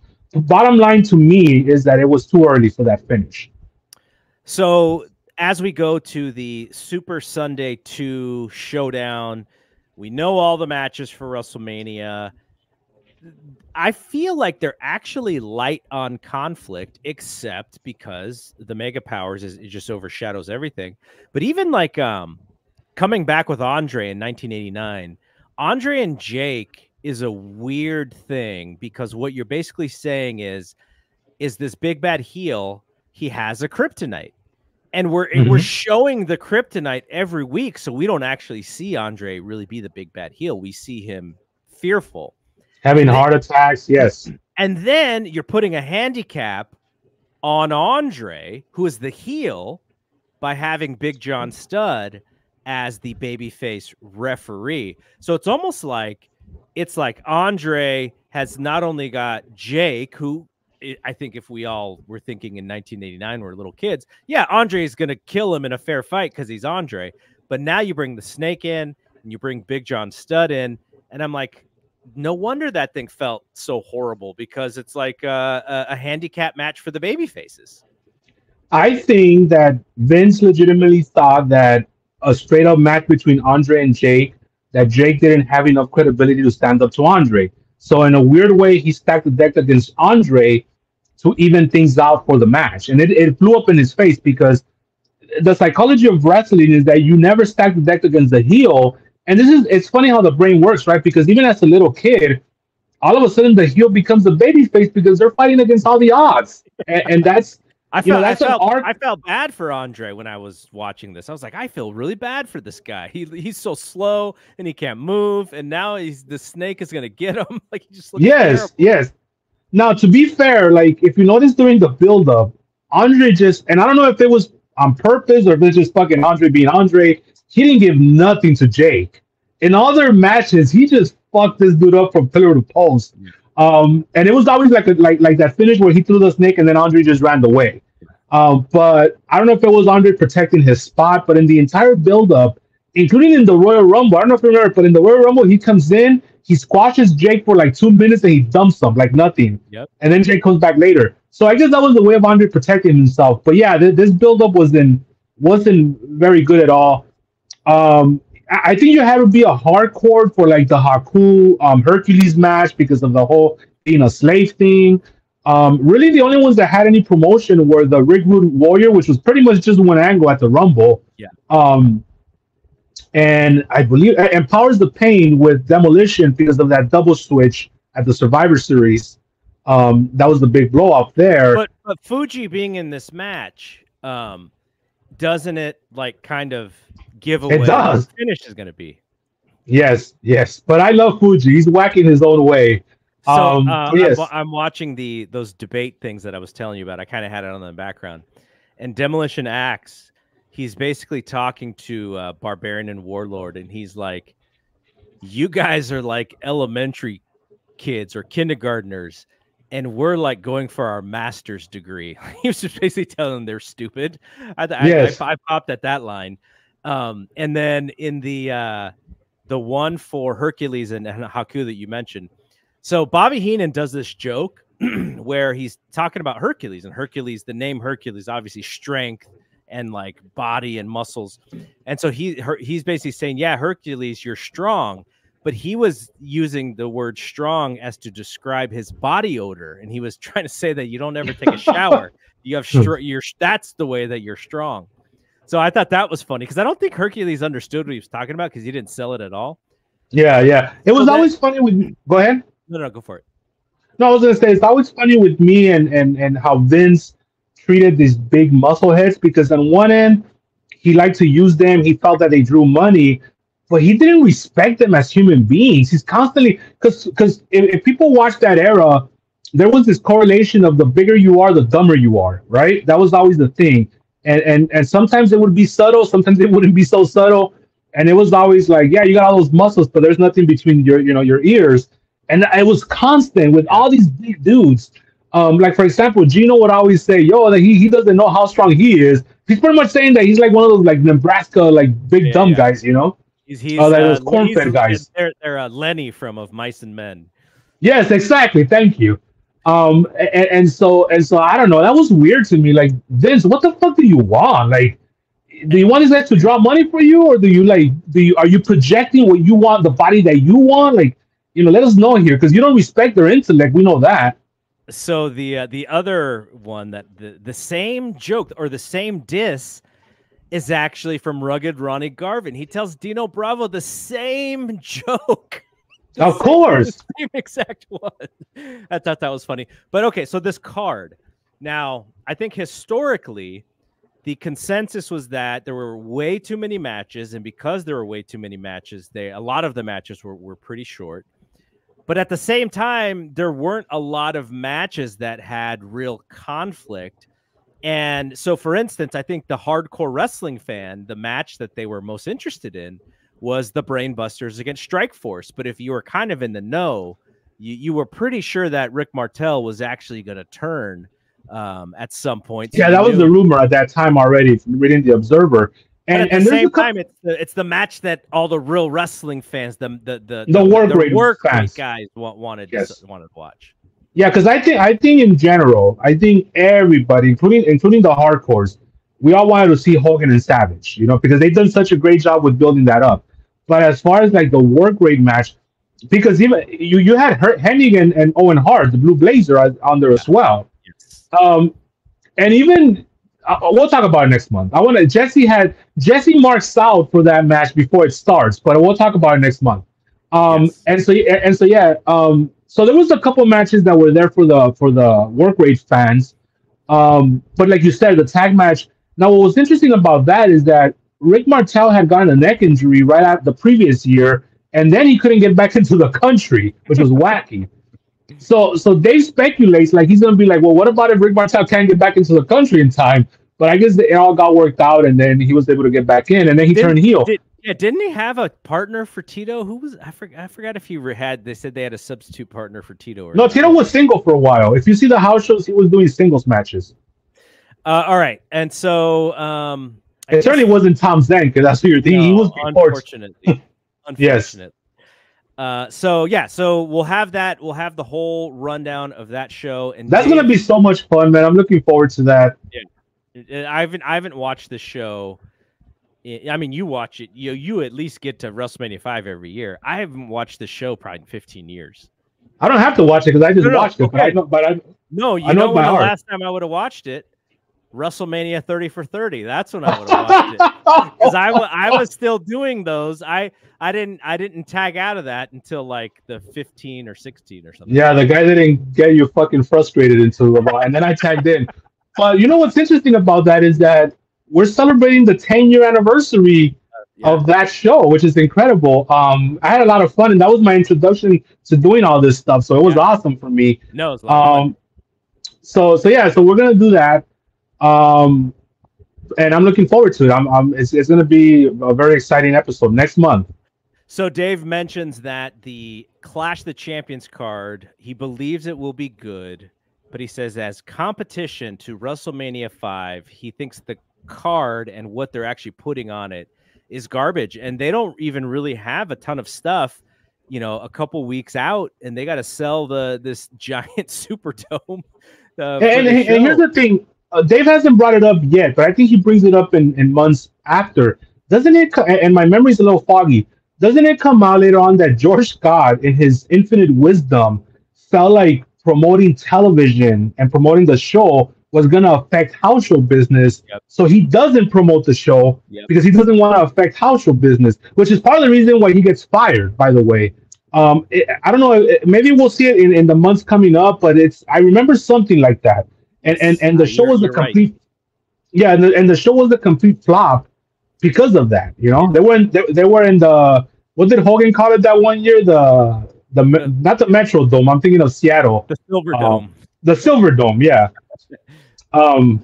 But yeah, yeah, yeah. So they were there in New Orleans, which I've been there once. You were there too. No, you've never been there. Huh? Oh, I, I didn't go. I actually went to um I was there that weekend, but I came home before actual WrestleMania. In 2014 or 2018. Uh 2018. Okay. Yeah, I mean, back in the day they had the Kingdome, the Metrodome, the Si- Silver Dome, the Superdome. The cookie cutters, brother. I know all about them. Yeah, they would just like you could fit 90,000 people in those things. And you Okay. can reconfigure them to different things. Now you mentioned uh, when we were talking about this, and we'll we'll get to some questions here, and then I like to end with uh, the wacky stuff in that I call only in the Observer. But you had mentioned that you you kind of wanted to talk a little bit about lucha libre around this time. Yeah, well, I, I had brought this up because I thought we were going to be scrounging for time, but just because I'm so long winded, we're doing good. But I'll, I'll bring up a little bit about it. So, in 1989, it was interesting because it, it's it's always like you know the secular systemic way that the business works, and really all life works like this, right? Where one one incident, one situation forces us to adapt and create something new. Um, what ended up happening in lucha around this time was that there was no television because what happened years before was that the, the, commission ended up getting getting word because the kids were watching Lucha on television and they were emulating a lot of the moves and getting hurt. So they pulled Lucha from TV. So at this time in '89, Lucha Libre is pretty much a house show business. Oh wow! And what starts to happen is that from there, and this and this is going to be hard to believe for a lot of fans, Lucha Libre creates a union. Yes, they had a union where you get medical, you get a pension, and all that stuff. Um, and so what starts to happen is that in late 89, early 90, Televisa, which is the biggest company, I think it's the biggest television company in the world, even because they own Univision, which is huge here in America. Um, they they they go up to EMLL and they're like, we want to put you guys on TV. And the union is like, no, because that's going to affect our income. Because what's going to happen is that the television is going to affect the house show business because nobody's going to want to come to the shows because they're going to want to watch it on TV. Right. So the luchadors all get together and say, we don't want to be on TV. We we rather do our because they were working like four or five times on a Sunday, and if wrestling is on on a Sunday, people are not going to go to the shows anymore. So they go they go and they go to the president's actual house. It's called Los Pinos in Mexico City and they and they're right there with their picket signs. They're like, "We don't want TV." And the president has bigger fucking fish to fry. Right? Like, fuck you. I don't give a fuck about you guys. So he doesn't. He ignores them. Nothing is ever said. So that disbands the wrestlers union. They get upset because they're like, "Why the fuck are we in a union for if it didn't work for us?" So EMLL signs with Televisa, and it creates this amazing boom of superstars that have been unheard of since the El Santo days because all of us, and that's where Vampiro comes from. That's where Konnan comes from. That's where like Psicosis, all these big stars that would influence American wrestling in the early '90s, uh, specifically because Paul Heyman exposed a lot of them in his television product, and then Barry Bischoff picked them up. So it's amazing to me, like how everything's connected. You know, everything. It, it, it goes back to like, had AEW never existed, we wouldn't have been seeing this version of WWE right now. Like all these things, because Cody would have never gotten the shot without AEW to be a top guy. So all these things always amaze me about not only about wrestling but about life, like how like everything is so interconnected. And had that not happened in Mexico, um, and I'm not even I, will talk about new uh, Japanese wrestling another day because they have their own revolution going on with the shoot fighting there and the, in the shoot style. But I'll talk about it another day because we're running short on time. Um, had we had we not gotten that that thing in Mexico, we would have never had the little kids being exposed to them in ECW, like the Daniel Bryans and these kind of guys, and gravitate towards that style of wrestling, which which became a hybrid of the style that we have today. So it's amazing. It amazes me how all these things are always connected, even though they don't seem like they would be. Okay, and here's something that is kind of related to that. During this time frame, Jim Brunzell claimed that he was fired for attempting to organize a wrestlers union. Yeah, and, he was. And he said he contacted the NFL Players Association head, Gene Upshaw, and he spoke at a TV taping in Fort Wayne. Said he told McMahon the wrestlers are being overworked and underpaid, and three weeks later, Brunzell is gone. Yeah. You know, the thing is that it takes a very unselfish top guy for the, for a union to ever materialize because if the top guys are not part of the union, it's never going to work because everybody underneath the top guys, they're, they're, they're, cogs in a wheel, right? You could just replace them. Um, and what happened in Mexico is that the top guys were part of the wrestlers union. Um, now, later on, it was also very corrupt. So they were taking a lot of the pension money. That's why it disbanded. But for a moment in time, they had a union because the top guys were part of that union. And so that's why it worked for a very short time. Whereas here in America, John Cena would never join a union because he was being taken care of, right? The promoter takes care of the top guys to prevent shit like that from happening. Um, now, I do see that happening with like like a Tony Khan in charge because I do feel like the wrestlers would be like, we're better than this guy. Let's fuck, let's all unionize and not not work at this at Revolution 2028 or whatever the fuck, and he's gonna fucking have to give us our medical insurance and all that shit. But then we're the WWE guys have to also kind of get involved. So it's it's never gonna happen here in this country, I don't think. All right. Do you have questions? We can get to a few questions, and then uh, yes, I can sh- close what I have down, and then we can kind of go back and forth if you want. Okay. So here's the uh, same thing from Jairo Bobadilla. He says, "Do you do you see fast turning on Cody once he's champion and he keeps the same white meat babyface character?" Um, I think it's very, very, very important that he has challengers lined up because we learned from Sting, we learned from the Ultimate Warrior back in '90 that it, I don't care how over you are, if you don't have challengers lined up post WrestleMania, it's going to affect the title run. And that's one part of my answer. So I think it's important. He better have some challengers. And I know they, they're probably going to do Roman again because it makes sense. But he needs those day to day challengers and he needs to line them up. And honestly, I don't even know who it is right now. I think, I don't know, they're going to have a draft. So obviously, he's going to get mixed up anyway. Now, as far as him getting eventually getting annoying and, and because the fan base is very fickle, as we've seen, I don't think so. And I'll tell you why. I think The Rock being that cool heel, which I fucking hate because cool heels inherently kill baby faces. I think the fact that he's surviving this, I think that tells me that the fans are, are with him all the way. Mm-hmm. Had, had I started to see a little simmer of boost here and there for Cody now, because he's going against The Rock and The Rock himself is getting over, I would be a little more concerned, right? But I don't think he's gonna he's gonna get to the point where he's gonna this character is gonna be turned heel by the fan base. What do you think? Well, I think you make a great point in that who is the guy? He's uh, you know Brock Lesnar right now is persona non grata, obvious for obvious reasons, but he's he already had the feud with Brock. Uh, he's already uh, you could say solo, but solo hasn't won a match in a, in a very long time.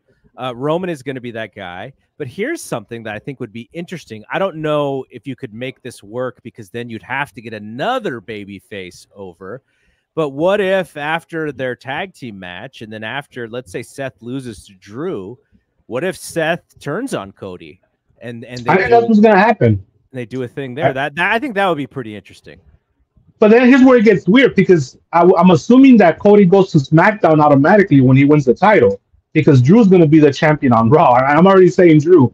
Um, so, uh, and again, they're going to have the draft, so a lot of things could happen. But I, I just, I, I, don't know how. I don't think they've done a very good job of of creating challengers. Like, there's nobody there that I could say, okay, this is the guy that's going to be the guy that's going out, that's going to go after Cody once all. Even on both brands, you know. Um, LA Knight, I guess, could turn. But see, all these guys are all just like little band aids, you know? What about your good friend Randall Kay? Yeah, but again, like 20 fucking years of this shit.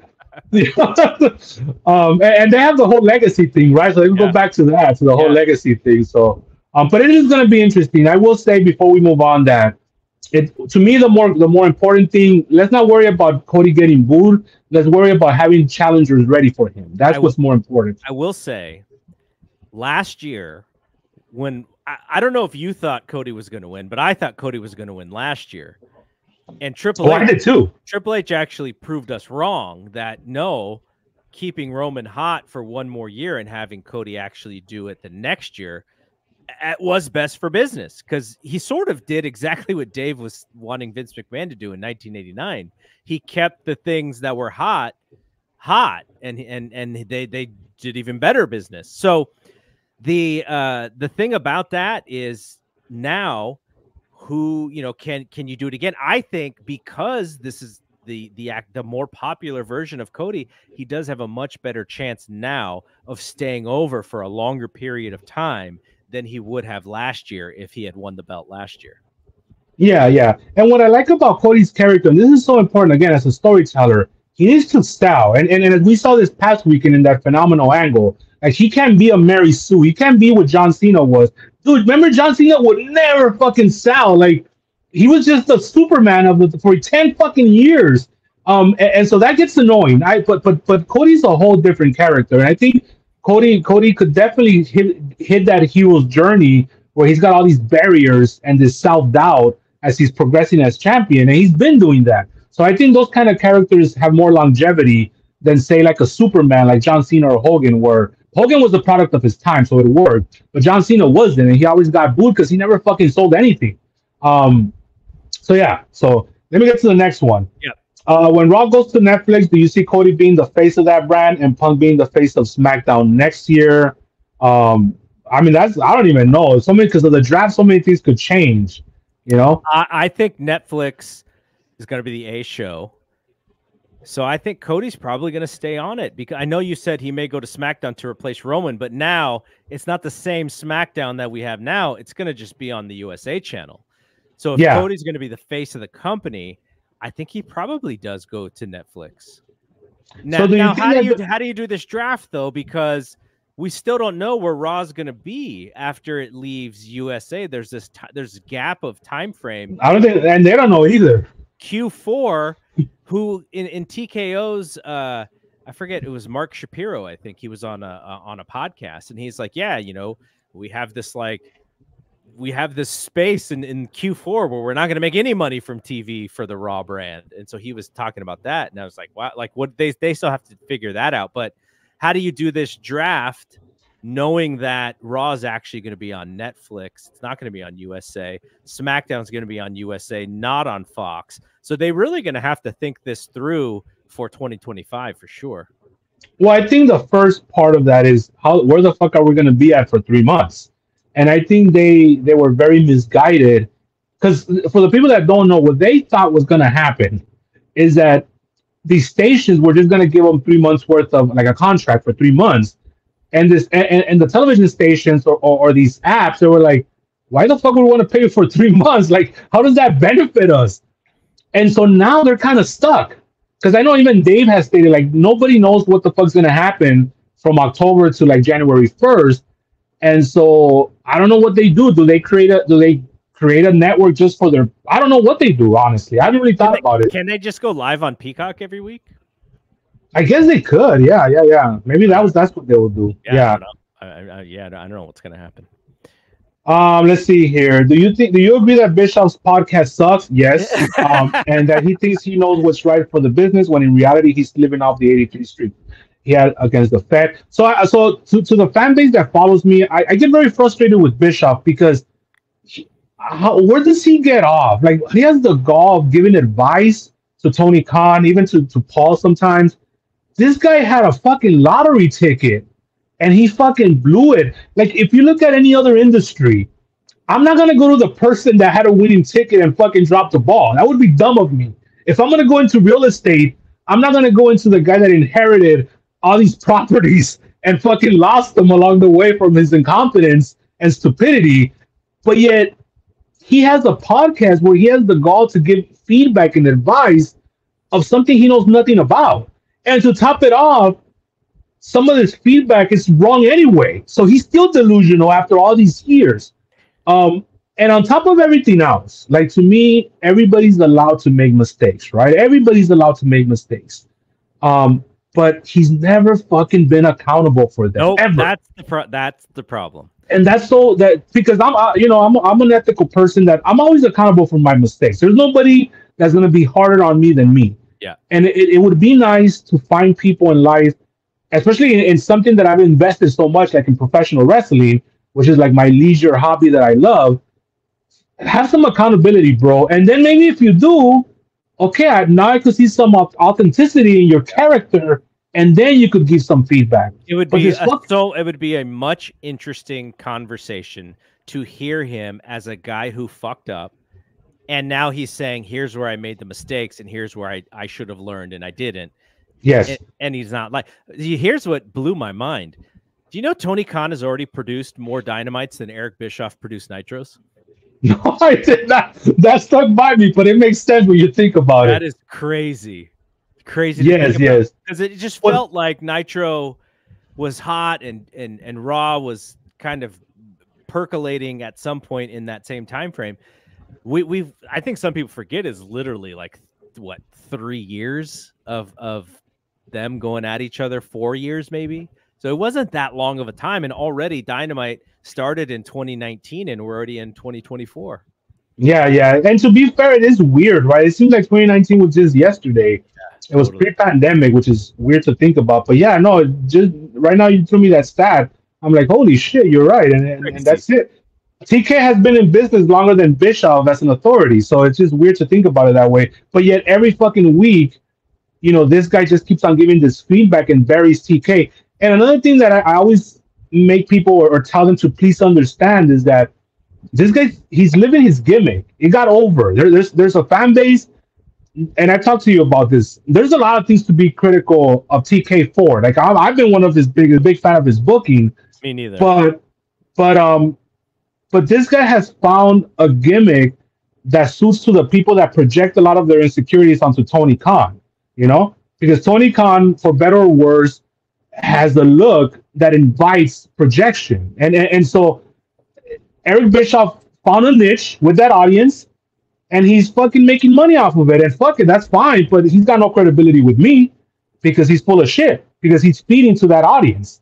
So that's where I'm at with Bischoff when it comes to all this. Yeah, I'm with you. I just I just choose not to listen. And I you know, I used to listen to Cornette, but now Cornette's a little bit too uh un PC and mean spirited. Like he just holding grudges because people are succeeding when he said they weren't going to succeed. So I I just choose not to listen to those guys. And I I try and listen to things that are fair and that I that I can sort of learn from. Now, if if Cornette's talking history, I could learn from Cornette all day long. Like he does history better than anybody almost. But when you talk about today's current wrestling, it's really hard on uh for me to listen to either of those guys because current wrestling has kind of passed them by and they want to act like it hasn't when they're, they're not keeping up with it. They're they're not watching as closely as, as even we are. The only thing that Cornette, and I don't listen to either of them anymore just because I never have time to listen to podcasts, but the only thing that Cornette has over Bischoff is that Cornette is very charismatic.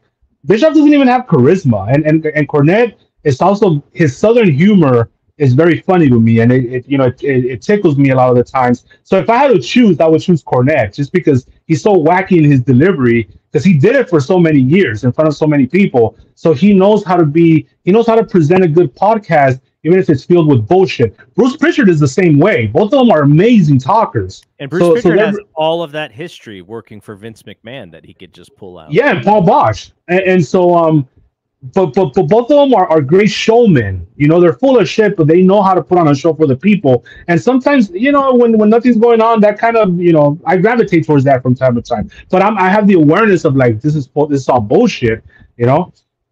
All right, let's do one more because I think we're running out of time here. Well, let, us do one from the chat. Avery three sixteen wants your thoughts on Russo. Well, fuck that guy too. He's just as bad as Bischoff. He's worse. I think he's worse. I, I think I think Russo did a lot of damage to the business. I think he gets romanticized quite a bit. I think having a platform that he's in control of now he's been able to spin his own narrative. And like we talked earlier, we have a lot of young fans, and and by young, not only age wise, but also just being wrestling fans mm-hmm. that don't have any context of history and what he's done to the business, where he get puts himself over.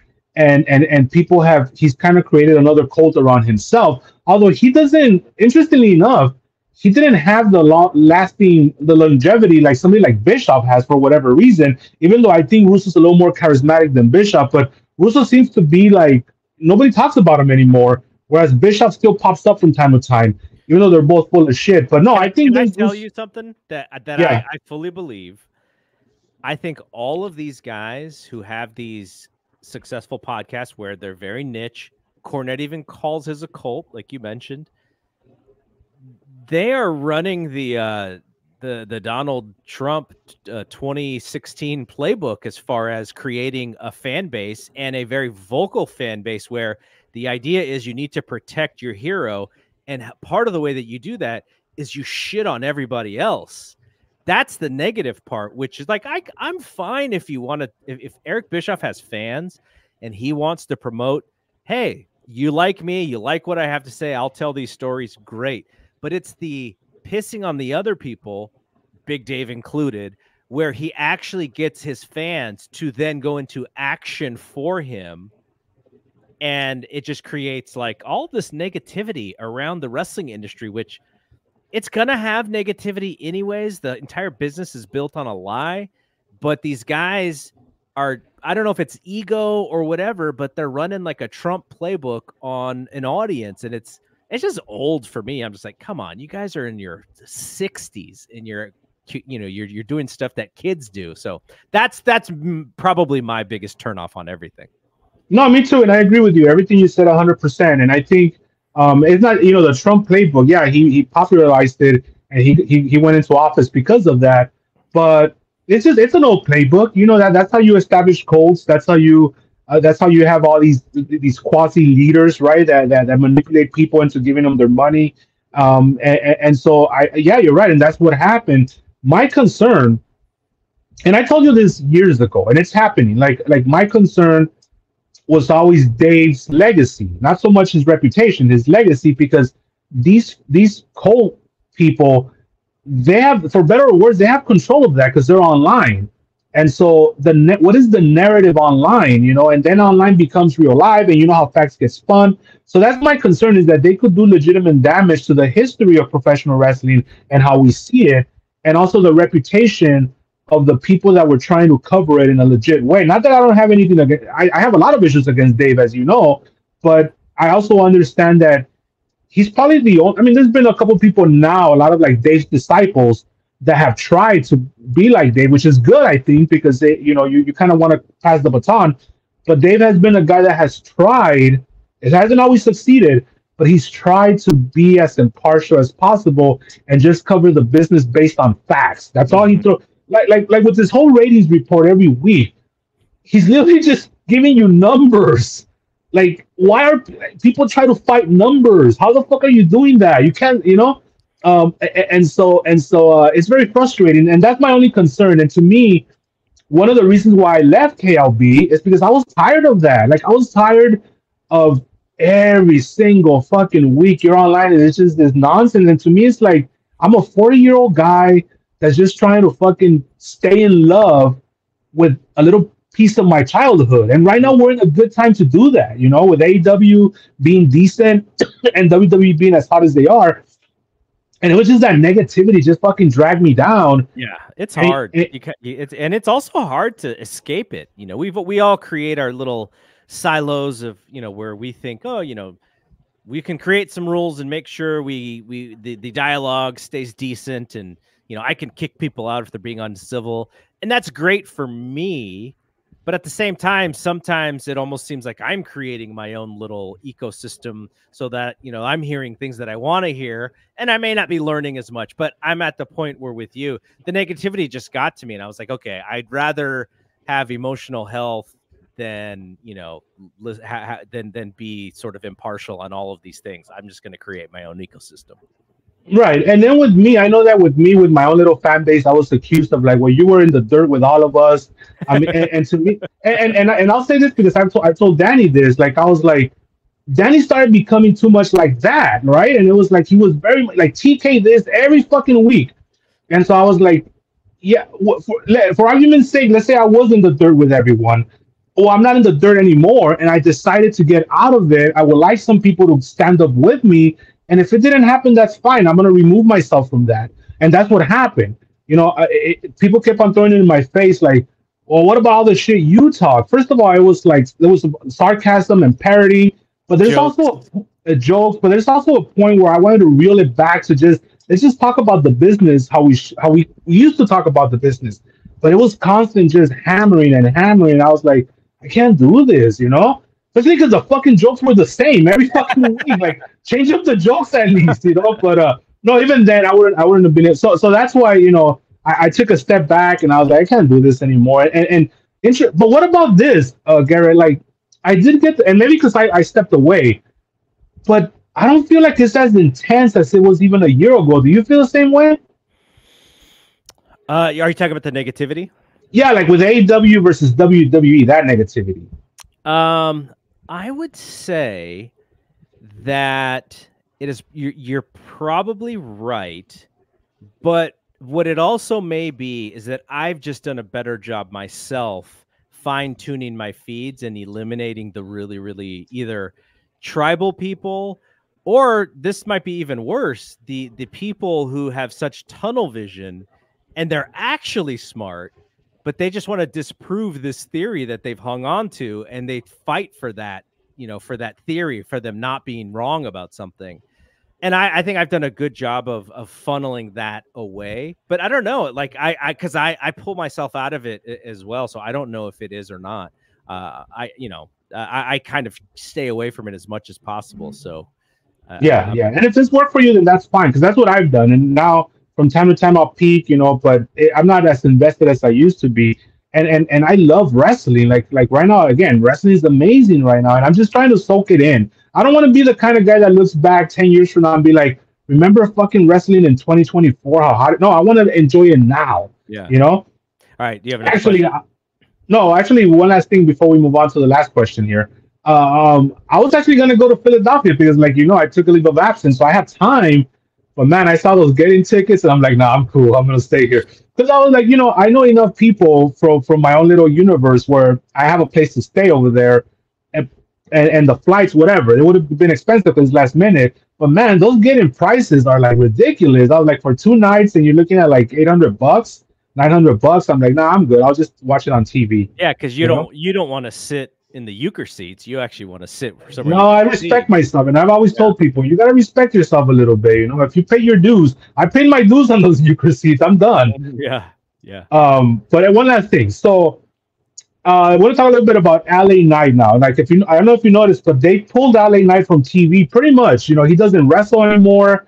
Um, he doesn't.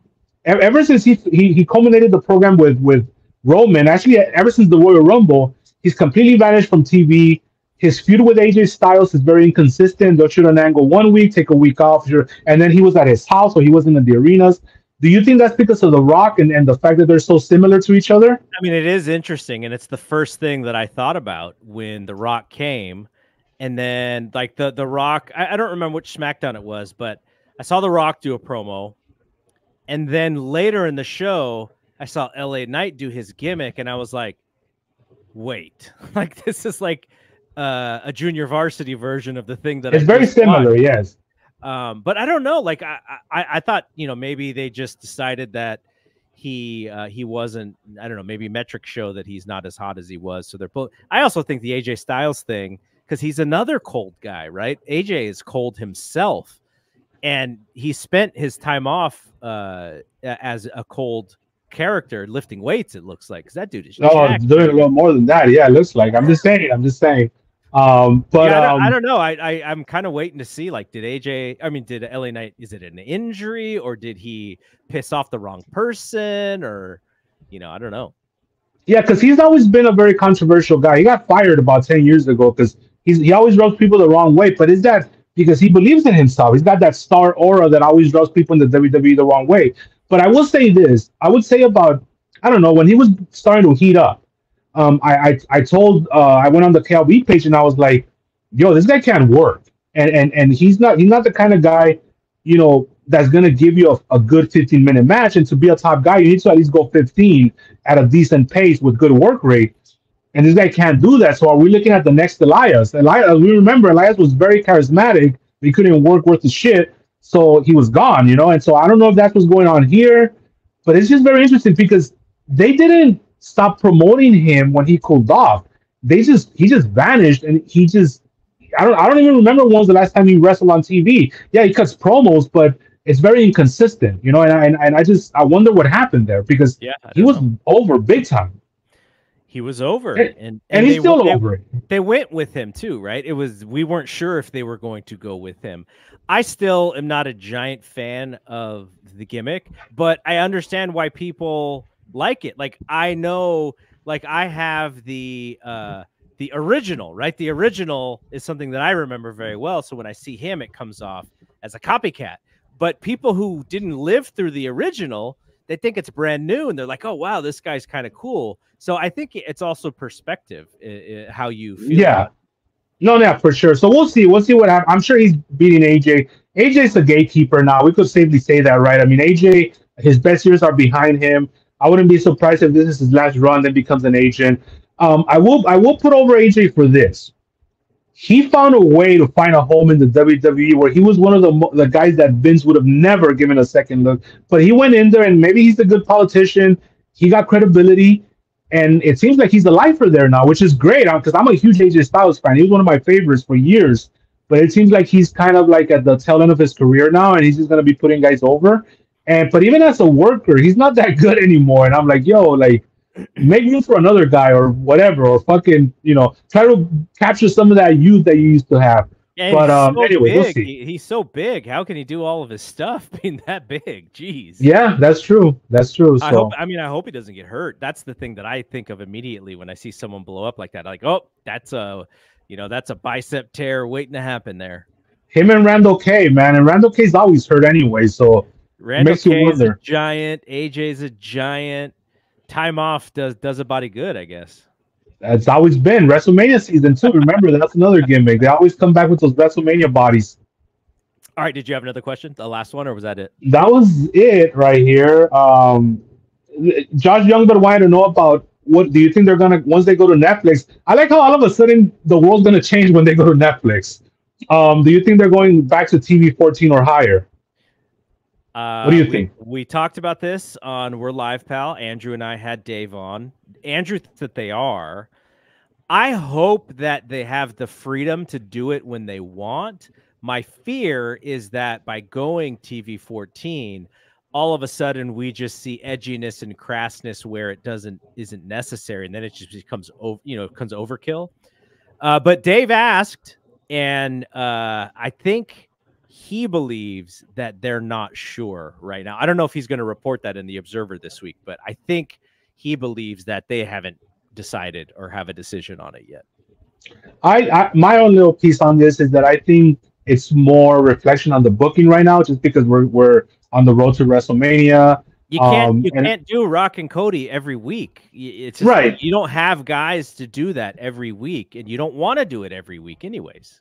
Correct, and we've and we've seen from AEW that doing it every week, especially the blood, it, it, you know, it, doesn't mean anything once you can continue to do it. But no, I think this is more reflective of The Rock being in, and The Rock's gonna do whatever the fuck he wants, and then you have somebody like CM Punk who's always gonna have that kind of attitude. So he's he started to do it. So I think this is more of a combination of the booking than it is some sort of new philosophy. Because I think we wouldn't have never had that memo had had they had they started thinking about going to a TV 14.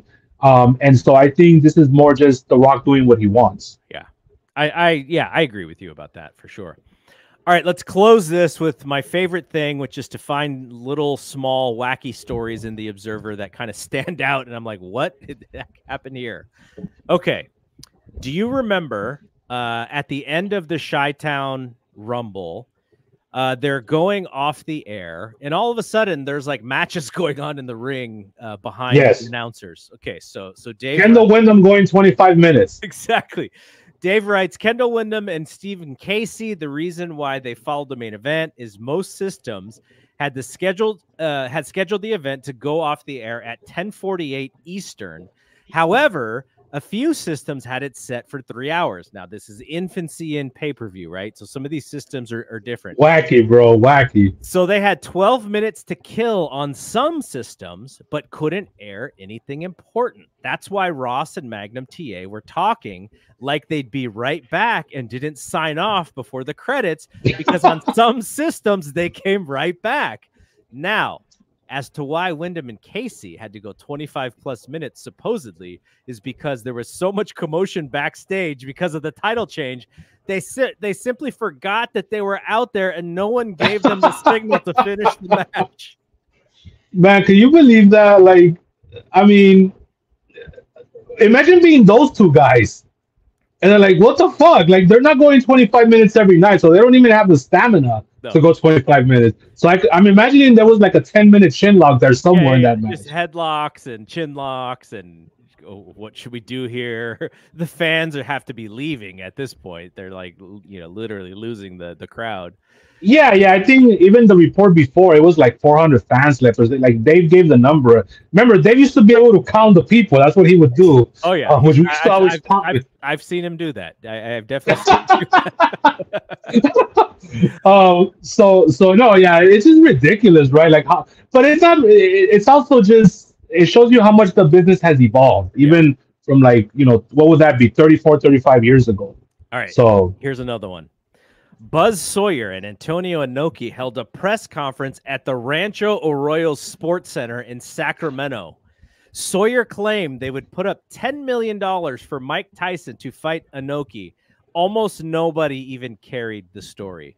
The reason why I like this is because even today, in 2024, they are still trying to get Mike Tyson to do celebrity fights. He has signed on to do a fight with Jake Paul on Netflix.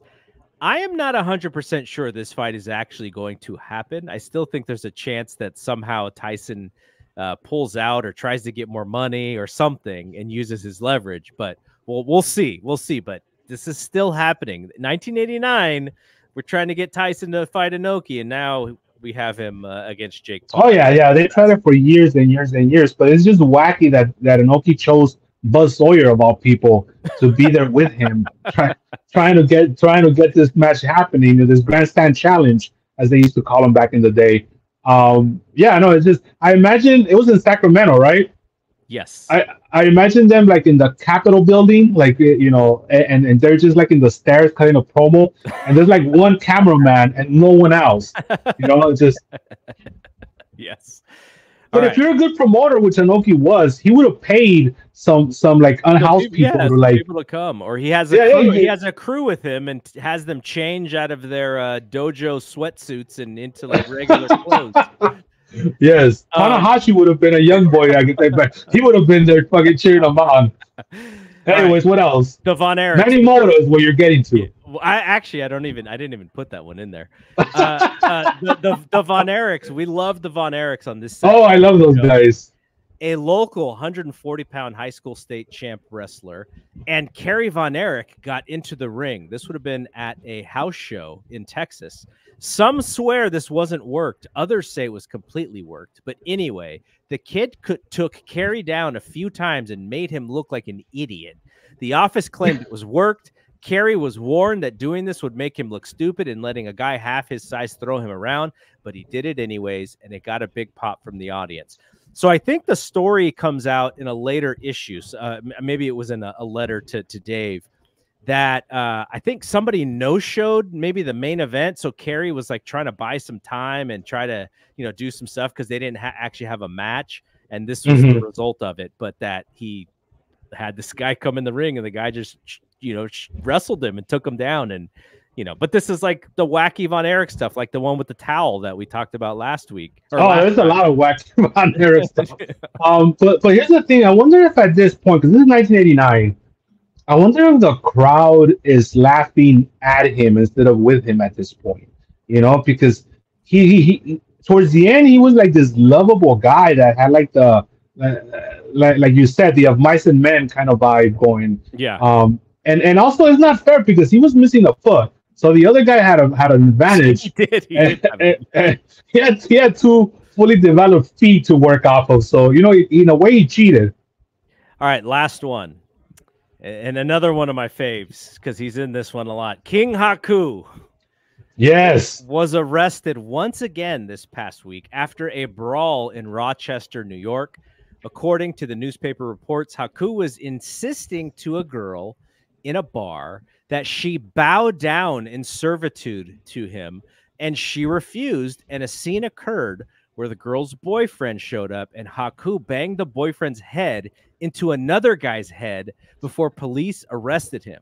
Haku was involved in another bar incident in Baltimore some months back where he uh, allegedly bit off the nose of someone he was involved in a fight. He loves to bite off those noses. He's got a collection of them. I mean, can you imagine being in a bar and this dude who I mean, Haku looks like he means business. He's not someone who's going to sneak up on you. And, and, you know, he's a very thick guy. Yes, thick. He just looks menacing, and he's like, I, am King Haku. Do you watch WWF?" And this girl's like, "No, not really." And he's like, "No, but you have to bow." And she's like, "No, I'm I'm good." And he's like, "No, you really have to bow." And then the boyfriend comes over, and he's just like, conk. Like, get out of here. No, no, but knowing knowing the knowing the way the boys were back then, he didn't even give her context. I could just picture him saying, "Bow down to the king," like with no context whatsoever. Um, and then the boyfriend comes in. Now here's where it gets wacky. Uh, on top of everything else, Haku had options to ram this guy's head. He had the wall, he had the table, but he chooses another guy's head to do it. he, like, he, in his mind, he was here hearing Gorilla Monsoon go double noggin knocker. The double noggin knocker. Um, uh, one thing that will always pop me about Haku is that he again, I said it last time, he was only a king for a few months, but he squeezed that king name for the rest of his life because everybody still refers to him as King Haku. Yeah. And and it's like, yo, you were only a king for like two, three months, then Jim Duggan beat you. Um and and another thing about Haku, I believe his stories because nobody has ever stepped up and say they whooped his ass. Usually with all these tough guys, not even Dave. And if you notice, Dave always talks with a lot of respect about Haku as well. Uh, and, and so to me, it's like, yeah, there's some validity to a lot of his stories because usually with these tough guys, there's always somebody that humbles you, and th- and that's kind of like the end of the story. But with Haku, it's like nobody, nobody has ever, and even the tough guys, Dan fucking Severn has stated that Haku's the most, and he didn't even work with them at the same time. You know, Uh, the the Haku came in the perfect time. He was 10 years before anything MMA related got really big. So he's got this rep. And then by the time MMA comes, and look, I've been to bars where you look around and you're like, okay, one of these guys is training at a local gym, and you, nobody better mess with this dude. We just don't know which one it is. Because that, when you don't know who it is, then it's really scary.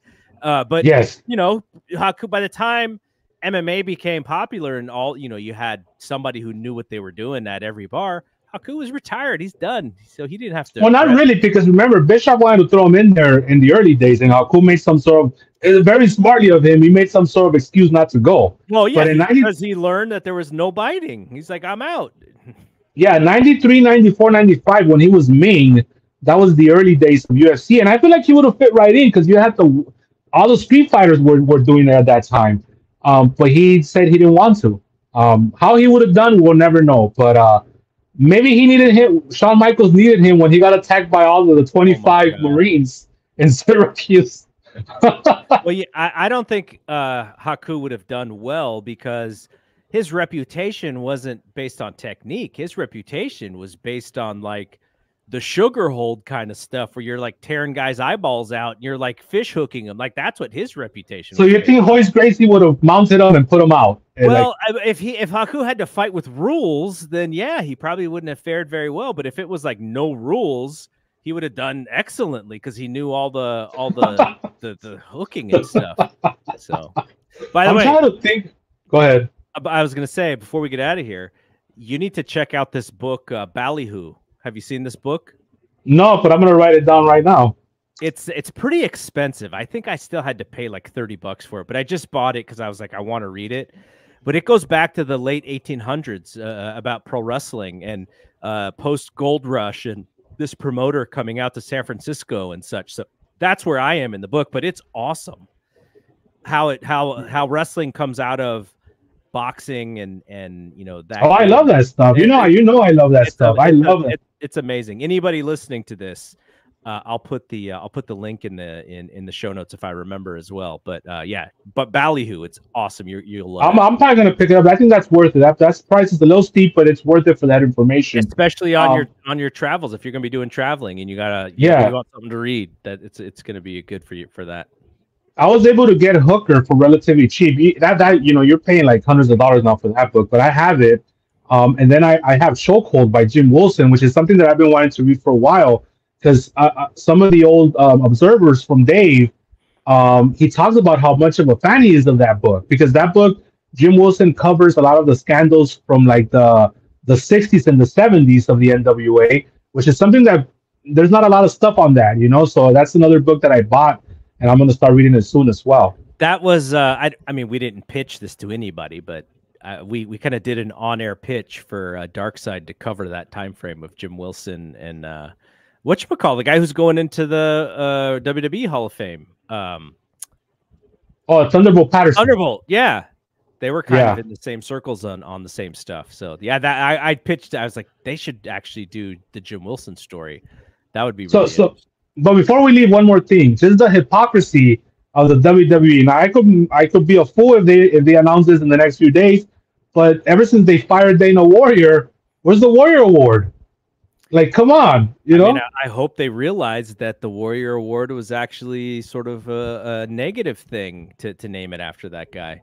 I mean, they should oh, I think it was. they should refurnish it. You know, maybe name it after you know, like Dave, like Big Dave did, he named it after uh, Shad Gaspard. Shad Gaspard, yeah. Yeah, they they should do something like that. Change it, change the meaning of of that award to to somebody who actually did some good. But it seems like they're complete, like, completely skipping that in the celebrity wing this year. So maybe Paul doesn't like that. Yeah, like fuck all that. You it know? is right. It is this year, so we'll see. And I saw that uh, Mike Rotunda said he's they're actually happy that Bray is not inducted this year because it's just less stressful and I'm sure less emotional and maybe we maybe Bray actually gets inducted next year instead. Yeah, I don't think I don't I don't even see how he could hold it together. I mean, this just happened in August, you know, and, and so it's like seven, eight months ago, and and for him to be inducted, I'm sure they would have asked Mike to be the presenter, and he would have just been a complete mess. I, I So you could tell. I, I I saw the same interview you're talking about, and you could tell that he was relieved just not to have to worry about it this year. You know. Yeah, I I would I I'm with him, man. If if that you know, not that I would be in that situation, or or I hope I'm not in that situation, but p- postpone that thing until you know he can he can have some sort of distance from from that situation. So Yeah, even next year might be too soon. You Might never know. might be. I mean, I think that documentary is going to be very emotional. I can't know, wait. I, I don't really like WWE Peacock documentaries, but I can't wait for it. I, I'm excited for it. yeah. So All right, man. Thank you right. for having me and doing this. All right, next month we'll cover the two shows, the two Super Sunday shows, and then it's kind of this post. The, the now this is going to be really interesting. The post WrestleMania uh, WWE schedule because No Holds Barred is going to be coming out. Survivor Series is is with Zeus and Savage. Uh, uh, I'm sorry, SummerSlam. Then Survivor Series as well. Then we get this big cage match for the pay per view debut of the No Yes. Holds Barred that's a wacky time period and it drew really good business for them so We're gonna we're gonna do some mental gymnastics and try to make sense of Tiny Lister, you know, crossing universes and attacking Hogan and not Rip. yes. You know, so it's it, that's gonna be fun to try to make sense out of all that. yeah, 'cause it's but, not, uh, it's not like it was tiny lister who attacked the hulk it was zeus the character who attacked hogan Yes, but Zeus has no. But Zeus shouldn't have any beef with Hogan because it wasn't Hogan. you should love beat in the hogan movie. for, for putting him in the movie dave, dave, yeah, has, so- dave has some early reviews of no holds barred though in the in the ones that we Read. I read it. I read them. Yeah. so i'm sure i can't wait for his overall review of no holds He said it wasn't released; it escaped or something like that. yeah. All right. Uh, thanks for doing this. I know we, we went a little bit longer, but I thought it was uh, really good stuff. So uh, for Draven, I'm Double G. We will see you when we see you. Peace out. Bye.